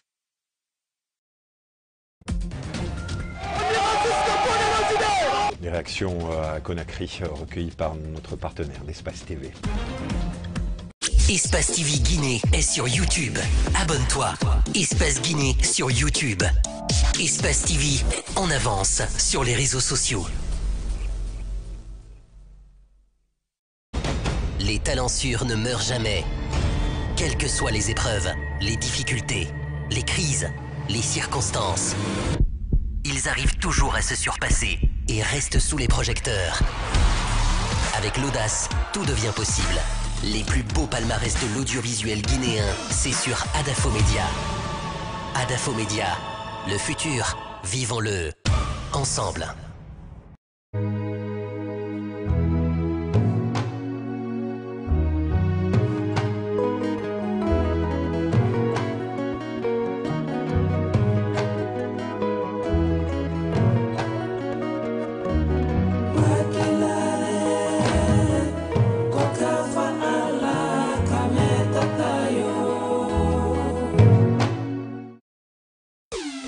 Radio Espace Guinée. Radio Espace Guinée. Amalapouya, Gorée, Koréra, Boubouya, Dabis, Pont-de-Fer, Solaya, Limania, Katako, Kolaboui, Filira, Amdalaï sur 99.7. Radio Espace Kakandé, la plus bagataille. La plus bagataille des radios. Eh oh, c'est la mine. Il est de retour. Lamine Guérassi dans le plus lion des mornings. Dès lundi, avec tous les moments du matin. Tu n'as pas mis un peu de réverb par là Ah non, pas du tout. Bon, ok. à lundi. Espace TV Guinée est sur YouTube. Abonne-toi. Espace Guinée sur YouTube. Espace TV en avance sur les réseaux sociaux.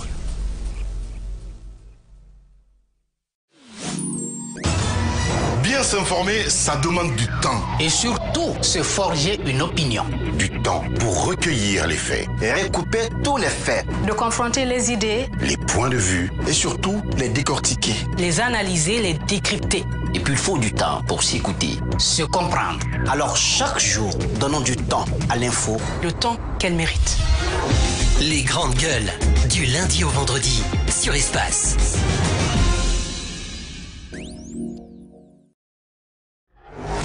Tout le Nabaya, Dans tout le Nabaya, Baté, Mandiana, Sigiri, c'est Radio Espace sur 99. Radio Espace Cancan, la plus cancanaise des radios. C'est l'histoire d'un homme. Oui, c'est moi. Un homme prêt à tout pour sauver le monde. Oui, ça dépend de ce que tu veux dire par là. Un héros Un héros. C'est un peu rigolo, mais un héros, non. Maître en arts martiaux. Ah non, alors là, pas du tout. Spécialiste du combat rapproché. Ouh là là, je peux pas me battre. Et avec un corps de rêve. Alors là, tu t'es complètement trompé de personne. Oh, ça va quand même. Quelques kilos en moins, ça te ferait pas de mal, mais... euh, non, t'es bien déjà. Il est de retour. Lamine Guérassi, dans le plus lion des mornings. Rendez-vous lundi, dès 6h15, sur Radio Espace. Groove Station, hip hop. Groove Station, Usain Kaba. Tous les week-ends, c'est hip hop. Espace TV Guinée est sur YouTube. Abonne-toi. Espace Guinée sur YouTube. Espace TV en avance sur les réseaux sociaux. Espace TV Guinée est sur YouTube. Abonne-toi. Espace Guinée sur YouTube. Espace TV en avance sur les réseaux sociaux. C'est l'histoire d'un homme. Oui, c'est moi. Un homme prêt à tout pour sauver le monde. Oui, ça dépend de ce que tu veux dire par là. Un héros Un héros. C'est un peu rigolo, mais un héros, non. Maître en arts martiaux. Ah non, alors là, pas du tout. Spécialiste du combat rapproché. Ouh là là, je peux pas me battre. Et avec un corps de rêve. Alors là, tu t'es complètement trompé de personne. Oh, ça va quand même. Quelques kilos en moins, ça te ferait pas de mal, mais... euh, non, t'es bien déjà. Il est de retour. Lamine Guérassi, dans le plus lion des mornings. Rendez-vous lundi, dès 6h15, sur Radio Espace. Bien s'informer, ça demande du temps. Et surtout, se forger une opinion. Du temps pour recueillir les faits, Et recouper tous les faits. De confronter les idées, les points de vue et surtout les décortiquer. les analyser, les décrypter. Et puis il faut du temps pour s'écouter, se comprendre. Alors chaque jour, donnons du temps à l'info. Le temps qu'elle mérite. Les grandes gueules, du lundi au vendredi, sur Espace.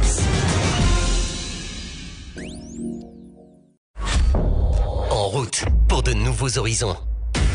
Aventure, évasion, rencontre, partage, dépaysement. Voir la Guinée autrement. Pour cette rentrée, nous vous proposons des inédits. Bienvenue sur Adafo Média.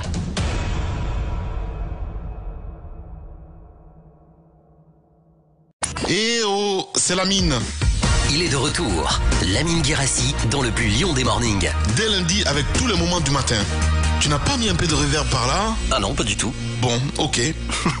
À lundi. Vivez une fête sensationnelle, mortelle, exceptionnelle Euh, multidimensionnelle peut-être? Non, désolé. Ah d'accord. Ce modèle d'annonce, il n'y a que Adafo Média pour le faire. Pour toute information, contactez-nous 628 06 06 60. Adafo Média. Et si vous commenciez maintenant? Espace TV Guinée est sur YouTube. Abonne-toi. Espace Guinée sur YouTube. Espace TV en avance sur les... La prolongation sur Radio Espace et également sur Espace TV. Merci à vous qui nous rejoignez hein, sur notre antenne. Continuez à réagir, hein, mesdames et messieurs. Le contact s'affiche juste en bas de l'écran avec plaisir. Un peu plus tard, dans un instant, je me ferai un plaisir hein, de lire quelques messages que vous avez bien voulu laisser là. Notre émission se poursuit évidemment avec notre invité ce matin. Euh, on parle de la formation professionnelle, évidemment, la formation professionnelle, le développement d'un enseignement utile pour les formations de l'heure, pour ainsi juguler avec euh, ben, le chômage, il faut le dire. Voici donc en tout cas l'objectif que l'État guinéen cherche à atteindre à travers les centres de formation technique. Depuis des années, ces établissements bâtis dans les 33 préfectures accueillent des jeunes, il faut le dire, avec euh, le ministre en essayé de comprendre ce matin, Fabakar Barry, il faut le rappeler, il est le ministre de l'enseignement technique et de la formation professionnelle. Il est notre invité ce matin. Beaucoup de réactions. Je vais essayer de m'intéresser aux auditeurs Moussa Moïse avant de continuer évidemment l'émission avec euh, quelques auditeurs qui ont voulu, nous laisser les messages avant de continuer évidemment avec notre ministre eh ben, qui est avec nous dans ce studio. On a Jean, euh, Dan Daniel Lama hein, du côté de la France qui nous écrit très heureux de voir un domaine si stratégique mais malheureusement peu soutenu par ce message. Ce serait difficile de tout dire. Le monde professionnel est en constante évolution. Il est nécessaire donc de s'adapter et d'anticiper eh ben, sur les métiers d'avenir. Il faut impliquer, ceci dit, hein, il a cité euh, plusieurs points hein, dans Daniel Lama, euh, l'État euh, pour nous doter, pour nous doter pardon, d'infrastructures équipées, le privé pour les partenariats notamment liés au contrat d'apprentissage, pardon, ou même de stage d'immersion.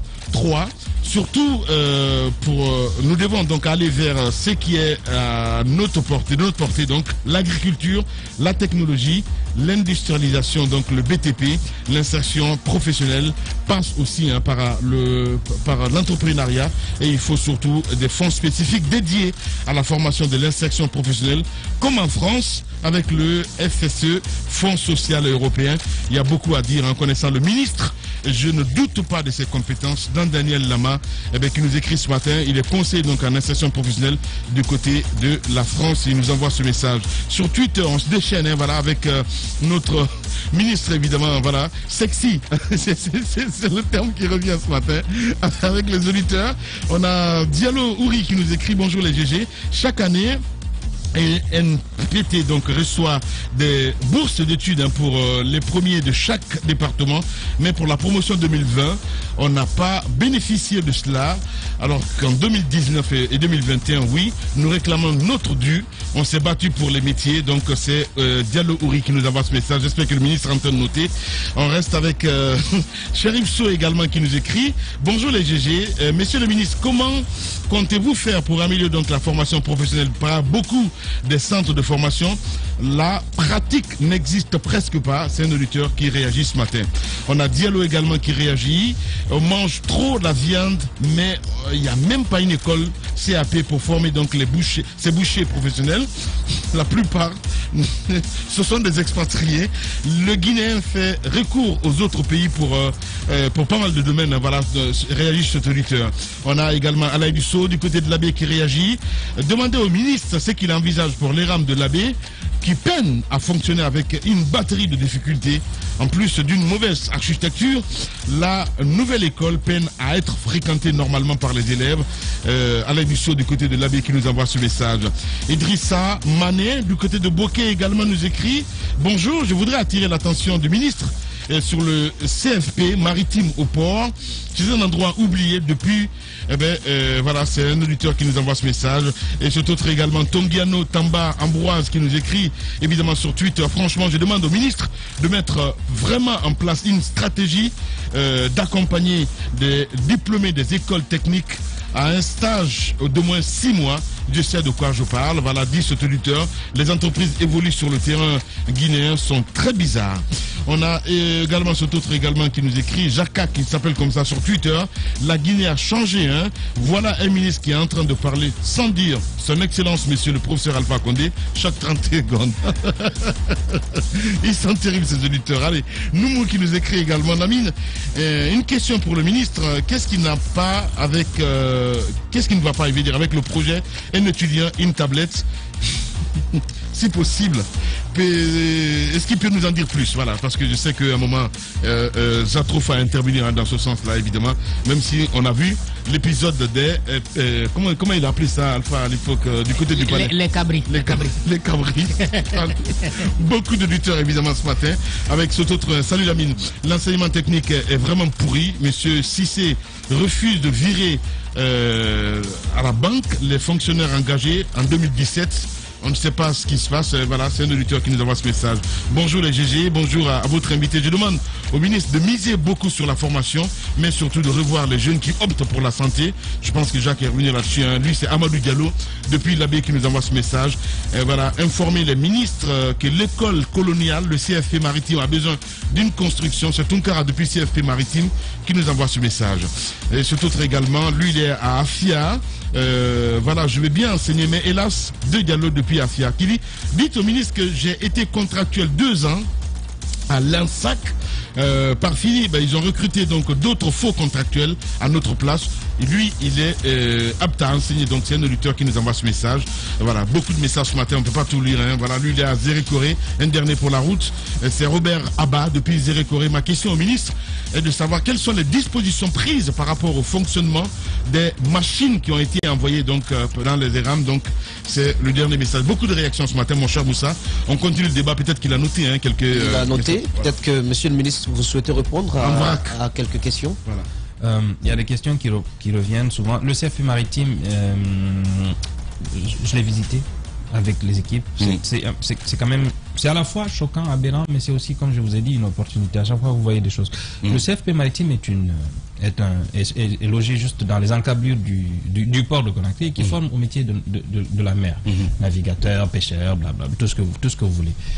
Euh, il y a à l'intérieur des mécaniciens euh, maritimes et puis des, euh, des menuisiers euh, qui n'ont pas de moyens en fait, de, donner leur, euh, de, de donner les formations. Vous n'avez pas de, vous avez deux, deux, deux moteurs pédagogiques qui sont là pour les mécaniciens mais qui datent de plus de 30 ans. Des moteurs hors bord? Des moteurs hors bord justement Yamaha, Yamaha offert, je crois Yamaha, ou je ne sais plus même plus quelle est la marque, euh, mais qui sont des moteurs euh, didactiques. Aujourd'hui, dans ce domaine-là, on est en train de parler justement avec une entreprise. Je ne peux pas vous en dire plus parce que nous n'avons pas encore formellement de réponse. Mais l'objectif, c'est qu'une entreprise plus l'État puisse co-investir pour en faire une école de qualité. C'est quoi une école maritime de qualité? C'est une école qui a à la fois les salles de classe, mais aussi les ateliers et aussi des périodes de stage. Il n'y a pas de bateau sur lequel ces enfants-là peuvent aller pour faire du stage. Pourtant, dans les zones minières, il y a beaucoup d'utilisation en ce moment d'opérateurs maritimes, mais indonésiens, euh, Chinois. bangladeshis, chinois, Ouais. etc. Alors, il faut qu'il y ait une opération de dialogue entre ces gens-là, ces miniers qui investissent dans ces régions, les- les- les- les- la marine marchande et tous les opérateurs maritimes, ainsi que le ministère de la Pêche et la ministre, la nouvelle ministre de la Pêche est extrêmement engagée à travailler avec nous sur ce genre de choses pour la qualification, de, pour avoir une vraie école. Une école qui forme des gens. euh, Tenez-vous bien, c'est une des rares écoles qui a du contenu de formation valable. Les Comoriens viennent se former là et les Camerounais viennent se former là. C'est extrêmement intéressant, c'est important. Vous avez donc cette école sur laquelle il faut investir tout de suite. Et les, et les promesses qui arrivent, c'est d'avoir d'abord du matériel didactique, c'est d'avoir euh, des choses. Mais j'ai une vision un peu plus pratique de ça. Pour moi, le digital qui s'impose aujourd'hui comme étant un allié dans la formation peut régler beaucoup de problèmes. Si vous prenez euh, les métiers de la navigation, il n'y a pas de métier. Les, les premiers utilisateurs, par exemple, de la réalité augmentée ou la réalité virtuelle, c'est la navigation. Que ce soit les écoles de pilotage ou les écoles de navigation maritime. Un casque de réalité virtuelle vous coûte environ 300 euros. Le contenu de formation peut vous coûter peut-être un peu plus cher. Et, Et- si vous le et- mettez à disposition des enfants, vous réglez le En problème. contextualisant tout cela avec le débit Internet que vous avez dans votre Non, pays. non, vous, avez- vous pouvez aujourd'hui avoir du contenu hors Internet. C'est-à-dire que vous allez euh, avoir le contenu sur, euh, sur, sur n'importe quel support. Vous le, vous le mettez sur un support, une borne sur laquelle les enfants peuvent prendre ce, ce- ce contenu-là et en faire ce qu'ils veulent. L'avantage du digital dans la formation professionnelle, c'est que ça réduit, et pour répondre à une autre question ici sur les questions de pratique dans les écoles, ça réduit l'investissement que l'on fait dans la pratique. La matière d'œuvre, quand pour quelqu'un qui fait euh, de la maçonnerie, de la, de, de la menuiserie, etc., coûte cher. Parce que, et elle n'est pas réutilisable pour certains des cas. Par exemple, ceux qui font maçonnerie, il faut qu'ils aient du ciment et du Mmh. sable et qui, et qui s'appliquent à, faire des murs. Ces murs ne sont pas recyclables. Et on a conçu, j'ai trouvé qu'il y a de belles idées à l'intérieur du ministère qui font que ces, élèves-là, qui sont par exemple dans le, dans le BTP, puissent construire des infrastructures qui étaient prévues dans le plan de, de- du ministère. Et donc, ils font quelque chose d'utile et qui, est- qui peut être... Qui même temps euh, pédagogique. pédagogique. Et c'est d'ailleurs cette force-là qu'on va utiliser pour rénover Donka avec zéro franc, en tout cas venant du ministère. Justement. On veut mettre en, en contribution le secteur privé, les étudiants en BTP de dernière année qui vont en faire leur euh, examen de sortie. Et on a euh, con- euh, vu un, une- un cabinet d'architecture qui travaille pour nous pro bono, citoyenneté. Et chaque semaine, des, des- des citoyens, des influenceurs, vous, euh, Girassi, vous tous, vous pouvez venir un week-end et vous décidez d'accorder deux heures de votre temps à ce projet-là. La- L'objectif, il est pédagogique. Il est pédagogique en ce sens que le citoyen doit respecter l'école. Le citoyen doit respecter l'enceinte de l'école. Et à partir du moment où on entre dans un processus de co-construction avec le citoyen, vous l'éduquez sur la sacralité de l'espace euh, de l'école. Et vous entrez dans un processus, vous devenez aussi plus utile parce que si vous reconstruisez, si on reconstruit tous donc en- ensemble, on ne verra plus un directeur venir louer une partie de Donka à des, à des particuliers et se taire. Ce sont des riverains de- de- du CFP de Donka qui nous ont qui ont attiré notre attention sur certaines, sur certaines situations à l'intérieur de l'école. Vous voyez, donc une participation citoyenne dans la gestion de l'école est extrêmement importante parce qu'il y a une veille. Et cette veille permet d'éviter les abus, d'éviter euh, euh, les dérapages de certaines personnes et surtout d'attirer, de sonner la- la- la- l'alarme pour que nous, nous puissions intervenir. Et ça, c'était juste un petit cas. En parlant donc du digital de façon globale et pour revenir à la question et tu as une tablette, tous ces projets-là concourent en fait à régler et à fixer la Est-ce que rapidement, monsieur le ministre, euh, ce projet, un étudiant, une tablette, est-ce que ça a été un échec Ah c'est un projet qui a Ah véritablement non, atteint ah ses objectifs ah non, c'est un projet qui a, qui a- qui a retardé. J'ai fait un TEDx dessus euh, euh, à Akpapa qui est au, au Bénin. Euh, ce projet a été repris dans sa forme guinéenne. Nous ne sommes pas... euh, un étudiant, une tablette, ce n'est pas une invention guinéenne. Ça existe depuis une vingtaine d'années. Ce projet a été initié pour la première fois sous l'appellation un étudiant, un ordinateur. C'est la Banque mondiale qui a lancé ce genre de projet il y a plus longtemps. La partie guinéenne consistait, c'est pas à distribuer des tablettes, mais c'est à distribuer du contenu. Encore une fois, le digital, c'est pas du device. Bon, ce device c'est important. Mais aussi aujourd'hui, euh, le device c'est ça. Parce que ça n'a pas été bien expliqué, monsieur ça. le ministre à l'époque. oui, bon, on- Vous savez bien, bon, Je- je sais pour des questions électoralistes j'arrive. et tout ça. J'arrive à ça. J'arrive à ça. Euh, euh, la question de la communication est une question entière. On va faire un débat, peut-être si vous voulez, autour de cela. Mais le plus important, c'était pour nous de distribuer du contenu. Sur chacune de ces tablettes, il y avait un accès à 350 000 ouvrages. Le problème de l'étudiant, c'était pas sa tablette, c'était comment s'organiser dans autant de connaissances. Euh, 9 000, 11 000 tablettes totales ont été, euh, ont été euh, distribuées à des étudiants. Pas gratuitement. Je ne suis pas pour la gratuité. La gratuité, ça enlève toute valeur à une chose. Mettez la carte d'identité nationale gratuite en Guinée, vous n'aurez pas beaucoup de gens qui vont la respecter. Je ne suis pas d'accord avec la gratuité. Mais, maintenant- mais, mais l'objectif du digital dans l'école, l'objectif du digital dans l'enseignement, c'est de fixer les connaissances. Aujourd'hui, si je me plains d'avoir plusieurs personnes dans l'éducation, surtout des enseignants qui sont partis, si on avait fixé leurs connaissances, c'est quoi fixer la connaissance d'un enseignant dans le digital? C'est de le filmer en Bien cette sûr. période de classe. Si on a construit des MOOC et des SPOC avec cet, avec cet enseignant, tout ce qu'on aura, c'est un guide après. Parce que le digital ne remplace pas un professeur, mais c'est un complément. Vous aurez aujourd'hui tous les cours de maçonnerie disponibles sur, euh, sur votre téléphone. Parce qu'aujourd'hui, Dieu faisant les choses et l'économie ou la nature même de l'Afrique faisant les choses, c'est le, continent qui a le plus grand taux de pénétration du mobile, du smartphone. Euh, euh, L'un des de- continents qui, connaît le plus de, de, pénétration, une meilleure pénétration du, du, mobile euh, au monde.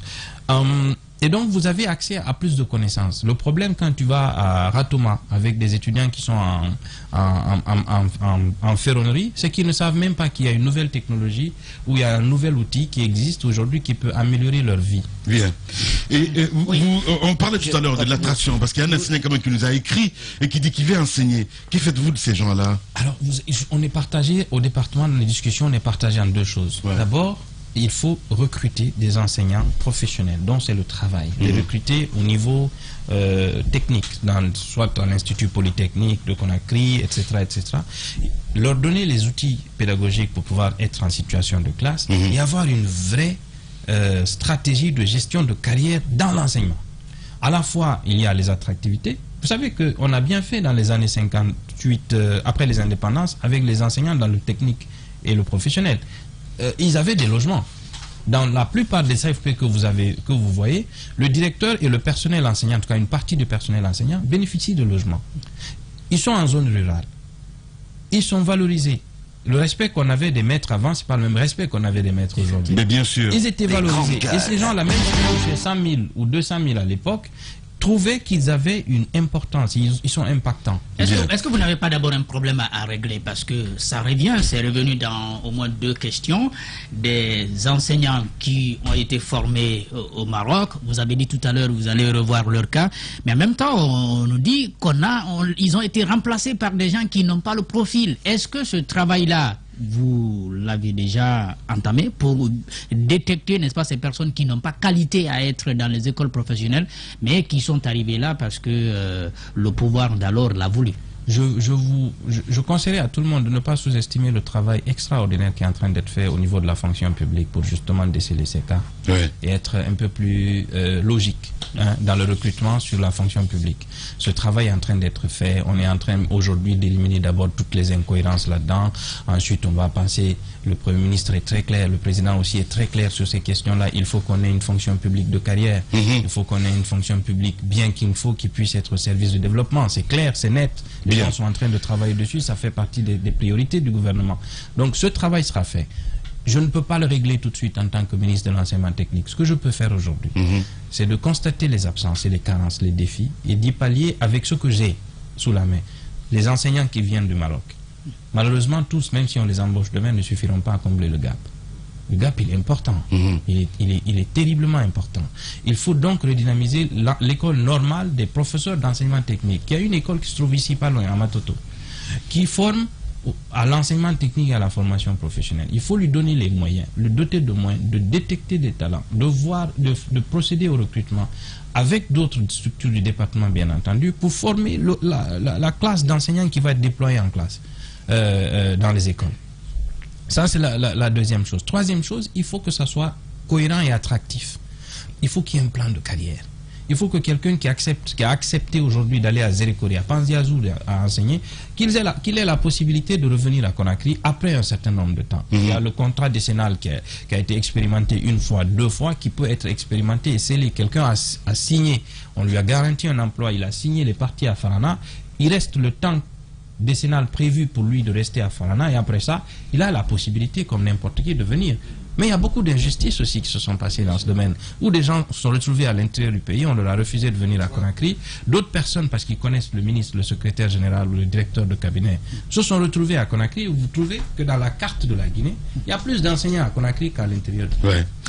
Malheureusement, ben oui, c'est- euh, on espère que vous n'allez pas tomber dans ce syndrome, hein, parce que euh, il y a des tentations comme ça quand même, Papa Baka. Je ne- je Ah ben, je- euh, par principe, je ne, mais non, par non. principe, je ne sais, je ne, je ne m'intéresse pas aux questions de qui peut aller où? Moi, à partir du moment où je pas, vous ai pas, vous spécifiquement, pour de contre dire. cette disparité-là. Justement. Non, aujourd'hui, les disparités sont. Encore une fois, il faut un outil pour évaluer tout ça. Ouais. Ce que je suis en train de vous dire, c'est basé sur des, des- des- rapports que vous avez. Mhm. Mais il vous faut un outil de, plus visible. Cancan, j'ai combien d'enseignants? Zélékoré, j'ai combien d'enseignants? Depuis quand ils sont là? Qu'est-ce qu'ils ont fait? Quels sont, Quel type d'études ils ont fait? Est-ce que quelqu'un les écoute pour dire, après cela, où est-ce que je veux aller? Qu'est-ce que je veux faire? Est-ce que je veux être inspecteur régional? Est-ce que pour être inspecteur régional d'enseignement technique, il faut que je fasse les beaux yeux au, au- au- au ministre ou que je connaisse quelqu'un? Est-ce que c'est une carrière? Ouais. C'est une carrière? Il me faut combien de temps? C'est ça la différence entre l'armée et nous. L'armée, vous prenez un grade, vous avez un diplôme à passer, vous passez le diplôme et vous passez un grade. Si vous avez une responsabilité à prendre, il faut être formé dans ce domaine-là. Ensuite, vous y allez. C'est automatique. Bien. La fonction publique devrait fonctionner comme ça. Et nous, en tant que manager dans ces établissements, on devrait aussi euh, faire preuve d'un peu plus de justice à ce niveau. Alpha Bakar Barry, notre invité ce matin, ministre de l'enseignement technique et de la formation professionnelle. Allez-y, Ce mon serait cher Moussa. important plus tard si vous n'avez pas les chiffres, qu'on sache par exemple euh, votre département euh, à combien euh, d'institutions euh, est doté de combien de- de- de- d'institutions d'enseignement, euh, que ce soit privé ou public, et qui évoluent, et tout cela est dispatché dans, dans combien de programmes tout, tout cela est fondé sur combien de programmes qui sont directement enseignés. Voilà, parce que si on ne sait pas déjà l'existant, ce qui est fait, euh, il serait difficile, par exemple, pour le Plus grand de public 178 écoles, je crois, existent dans le privé et le public, Ok. 68 dans le public, euh, et puis beaucoup dans le privé. Ouais. Je pourrais vous dire Ne fatigue pas avec les chiffres pour l'instant, je vous pas. je C'est important. vous Il a dit. des choses beaucoup Les grandes gueules. Quelques mois. Je Le vous temps donne de mois. reconstituer, de vérifier les données. Il n'y a, pas- a de souci. Monsieur le je ministre, vous vous avez une très grande volonté. Je t'attends dans ce studio, Vous je vais te connaissez, torturer, moi. Euh, pourquoi Non, tu vous, vous connaissez, monsieur le ministre, vous connaissez l'étendue, vous savez euh, l'importance de ce, de ce département, mais avec autant de bonne volonté. Quelle est la part du budget national qui est allouée à votre 4%. département? 4%. Qu'est-ce qu'on peut en faire? Rien, pas beaucoup de choses. Ah ben Dans voilà. les 4%, vous avez beaucoup d'argent qui est destiné au salaire. Au salaire. La première chose, il faut aujourd'hui plaider pour qu'il y ait un Et pourtant, c'est le ministère des vrais gens quand même. hein. Rééquil- Rééquilibrage budgétaire. Et on- la volonté ne manque pas. hein. Mhm. Euh, le président de la République qui tient. On a eu une discussion, lui et moi, où il Ouais. m'a dit il est inacceptable qu'on qu'on puisse, pour faire une belle maison en Guinée, attendre que des Sénégalais.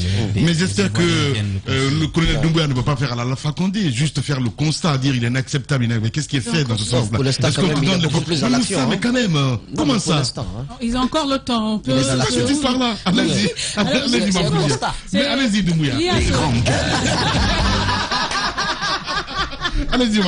Alors, ce problème de budget, il y a le régime précédent qui a peut-être trouvé des solutions au niveau des financements à l'international avec des partenaires qui ont mis de l'argent, par exemple, dans les projets comme Bossé. J'ai encore hier, je vous suivais à la télé, où il y a eu un financement pour une université privée de la place. Justement, je veux comprendre le rapport des universités privées de formation technique et professionnelle.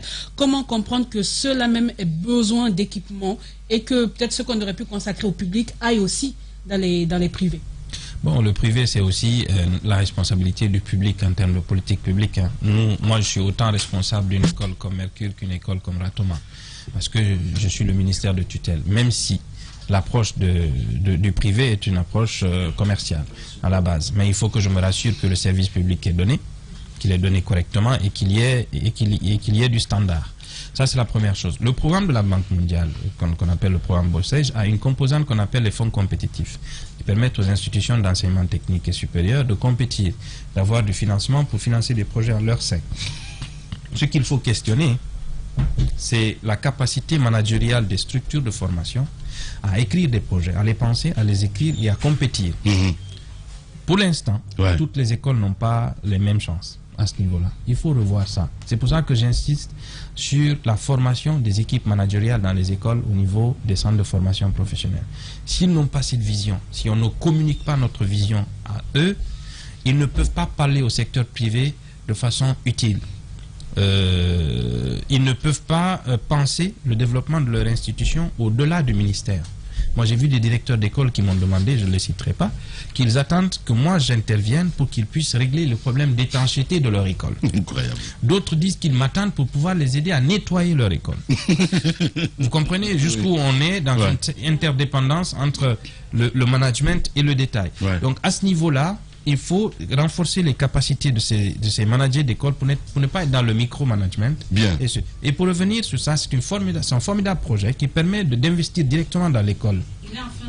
Il est en fin de vie. On, on- on est en train de plaider pour qu'il y ait une continuité. On va améliorer certaines parties pour que le public puisse justement bénéficier de plus d'investissements. Oui, Alors, monsieur le ministre, un, un mot peut-être sur euh, l'ONFPP. Quel est euh, un peu euh, le cas de travail que vous avez trouvé avec euh, cette, cette organisation L'UNFPP, comme euh, la GIP, est un EPA. Euh, en ce moment, il y a euh, un processus pour savoir euh, qu'est-ce que ces deux EPA vont devenir en termes de réforme. Mais tous les EPA de Guinée doivent être reformés. Bien. Pour être très proches de la mission pour laquelle ils sont créés. Voilà. Et donc, on est dans ce processus-là. Au moins, c'est dit hein, le ministre euh, Bakar Barry, notre invité ce matin. On passe à cette euh, rubrique. Les grandes gueules. La minute, oui ou non? Un feu roulant de questions avec une seule réponse possible. Oui ou non? Langue de bois, s'abstenir. Hein, ça fait longtemps qu'on n'a pas eu euh, des ministres comme ça dans ce studio, mesdames et messieurs. On part avec cette première question. Oui ou non, Jacques Lévaleno Oui ou non, monsieur le ministre, vous avez beaucoup de volonté, mais avec le manque de moyens, il vous sera difficile d'atteindre vos objectifs. Mais pas impossible. pas impossible. Donc non. Allez-y. Oui ou non, monsieur le ministre, pour une première expérience, vous avez des craintes par rapport à la réussite de votre mission?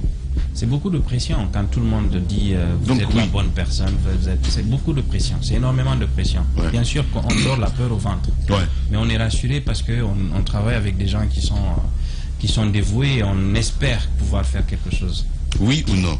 Oui ou non, au sein de votre cabinet, vous sentez que vous avez les mains libres Oui. Oui. Absolument. Mafoudia, oui ou non? Oui ou non, il ne faut pas s'attendre à une solution miracle. Ce que vous allez entreprendre, on pourrait voir les résultats dans 10 Oui, absolument. Donc, pas de miracle. Nous, nous allons en tout cas en- en- enclencher des réformes irréversibles et, les- et pour rendre la vie encore plus facile à la prochaine administration. Oui ou non, vous êtes toujours le patron de Jatrofa Non. Non. Vous avez cédé Non. Complètement. Complètement. Sûr, sûr. On peut vérifier. Ah, allez. ok. Allez. Allez-y. Oui ou non, monsieur le. J'ai oublié ma question.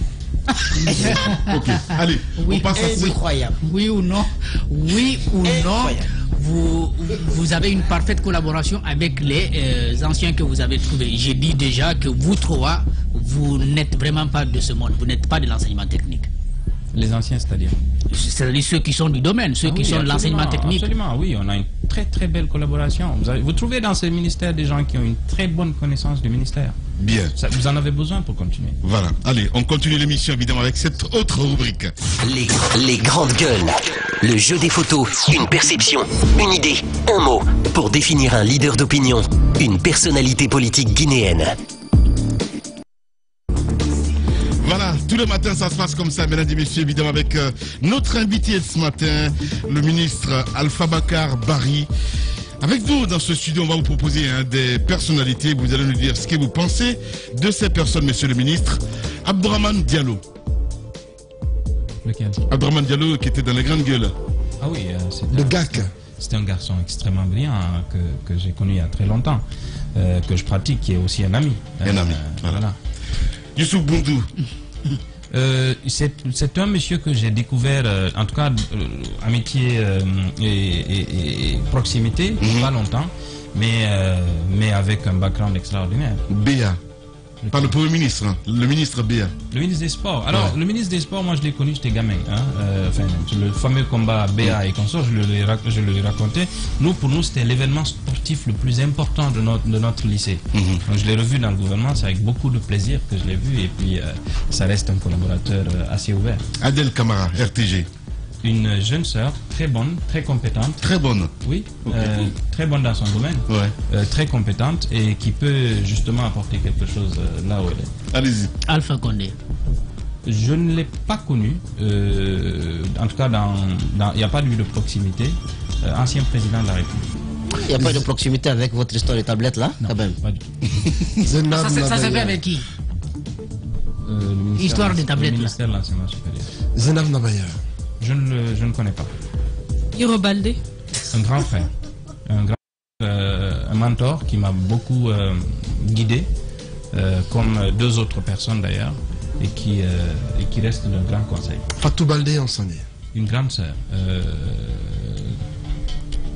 Euh, Voilà, ça veut tout dire. qui vous a habillé. Allez, Alpha Madi Très qui beau. pose cette question. Continuera-t-il à dispenser donc les cours de communication politique à, l'université? J'aurais tellement souhaité faire ça. C'est un travail qui me passionne. En fait, c'est la seule activité de dimanche et de samedi que j'avais.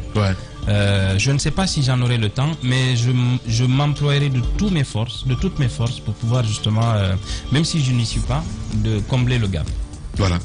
Monsieur le ministre, c'est un plaisir hein, de vous recevoir. Évidemment, euh, cette caméra vous appartient. Vous allez vous adresser évidemment euh, aux auditeurs évidemment qui nous regardent en ce moment. Peut-être il y a une dernière personnalité dont on me demande de demander. Moustapha Naïté. Un ami euh, que j'ai connu au moment où il était d'ailleurs entrepreneur, qui est un très grand entrepreneur. Voilà. Cette caméra, évidemment, les vrais gens vous regardent en ce moment euh, sur Espace TV et on nous écoute également à la radio. Les auditeurs, euh, les enseignants, évidemment, euh, ben, le peuple vous, vous regarde. Allez-y. C'est une opportunité pour à la fois l'équipe du colonel Mamadi Doumbouya, du Premier ministre Mohamed Beyavogui, d'apporter des changements majeurs dans la gestion de la vie publique en République de Guinée. Donc c'est l'occasion également pour toutes les parties prenantes, les enseignants, les élèves, pour le cas en tout cas de la, de formation professionnelle, l'enseignement technique, la formation professionnelle, de participer pour co-construire l'avenir dans ce domaine-là. On ne peut pas construire notre pays sans une main-d'œuvre qualifiée. On ne peut pas employer nos jeunes s'ils ne sont pas qualifiés. Il faut donc tous qu'on puisse travailler ensemble dans un élan de solidarité, ensemble à construire l'avenir de demain. Merci beaucoup en tout cas d'être passé nous voir ce matin. On se quitte là-dessus avec euh, cette euh, demande évidemment, hein, mon cher euh, euh, Malice Silla Poutine, si vous êtes prêt du côté de la régie. On nous a demandé ça. Non, regarde, normalement, mon CV a mérité qui la mine de la sera invité comme Oui, les oui. autres. Oui. Parce que j'ai fait des cannes. Oui. J'ai joué Coupe du monde militaire. Bon, là, puis la mine, là, m'a fait invité, là, on a fourni un fala. Oui, Bo Aïra. Ah, on a un invité, la Guinée, il biri ngouira, mais. Alors, qui- grande gueule. Il Ah, y a oui, fala. Non, na, ma, na télé. Yama, mini télé, Télé là. là, attends, attends, la grande gueule. Radio, na grande. Télé, allez, télé là, ma. Et puis, ni minima. Et mayon de sonyi na ku na maga fanyira. Ntɔgɔ ba nende dun. Afa ntɔgɔ tele yɛ sɔrɔ. Eh, eh. Afa kele mutin na. Ah. Awa Eh, wɛ. ni kulo so yira. Amɛni. A tan na min ya ta mana o di di lu yira a wale yira. Lamine Dieng, ça va le bouffer là. On va inviter nous depuis. Et puis mon CV a mérité qu'il y a un invité. Ouais. Parce que j'ai mérité. J'ai fait des cas. Des... Et puis des cas n'a yɛ ma ki ngui bo. Et puis j'ai mérité ngui wa bodi. Représenté Les Dima. peinturiers d'Angui, nous pouvons mener à la chose qui amène. Moi, j'ai servi les nations. National Et Balade. puis, les nations m'ont abandonné. Bon, nous n'avons fait la nation, on a fait un moufa. Et on a quoi Et à consommer. Non. Ah, ah, ah. Non, Lamine pas. Non, pourquoi la mine l'a manglé C'est mon droit. Ouais. Parce que j'ai j'ai des fois coup d'Afrique. Je suis en avant d'eau. À la manglé. Ouais. parce que ala ma fali ma ɲɛsibike na mana bɛ taa bɛ kan mɛ na mana taa kun mɔgɔli fiye na taa kun mun na taa n bɛ wuli. fɛn na ka dangi y'a fala. bala na bi nin fala ma dɛ. na ŋɔnɛ kun na fala ma e eh bi yan na di. n se k'i ma tu jira yɛrɛ ne ma.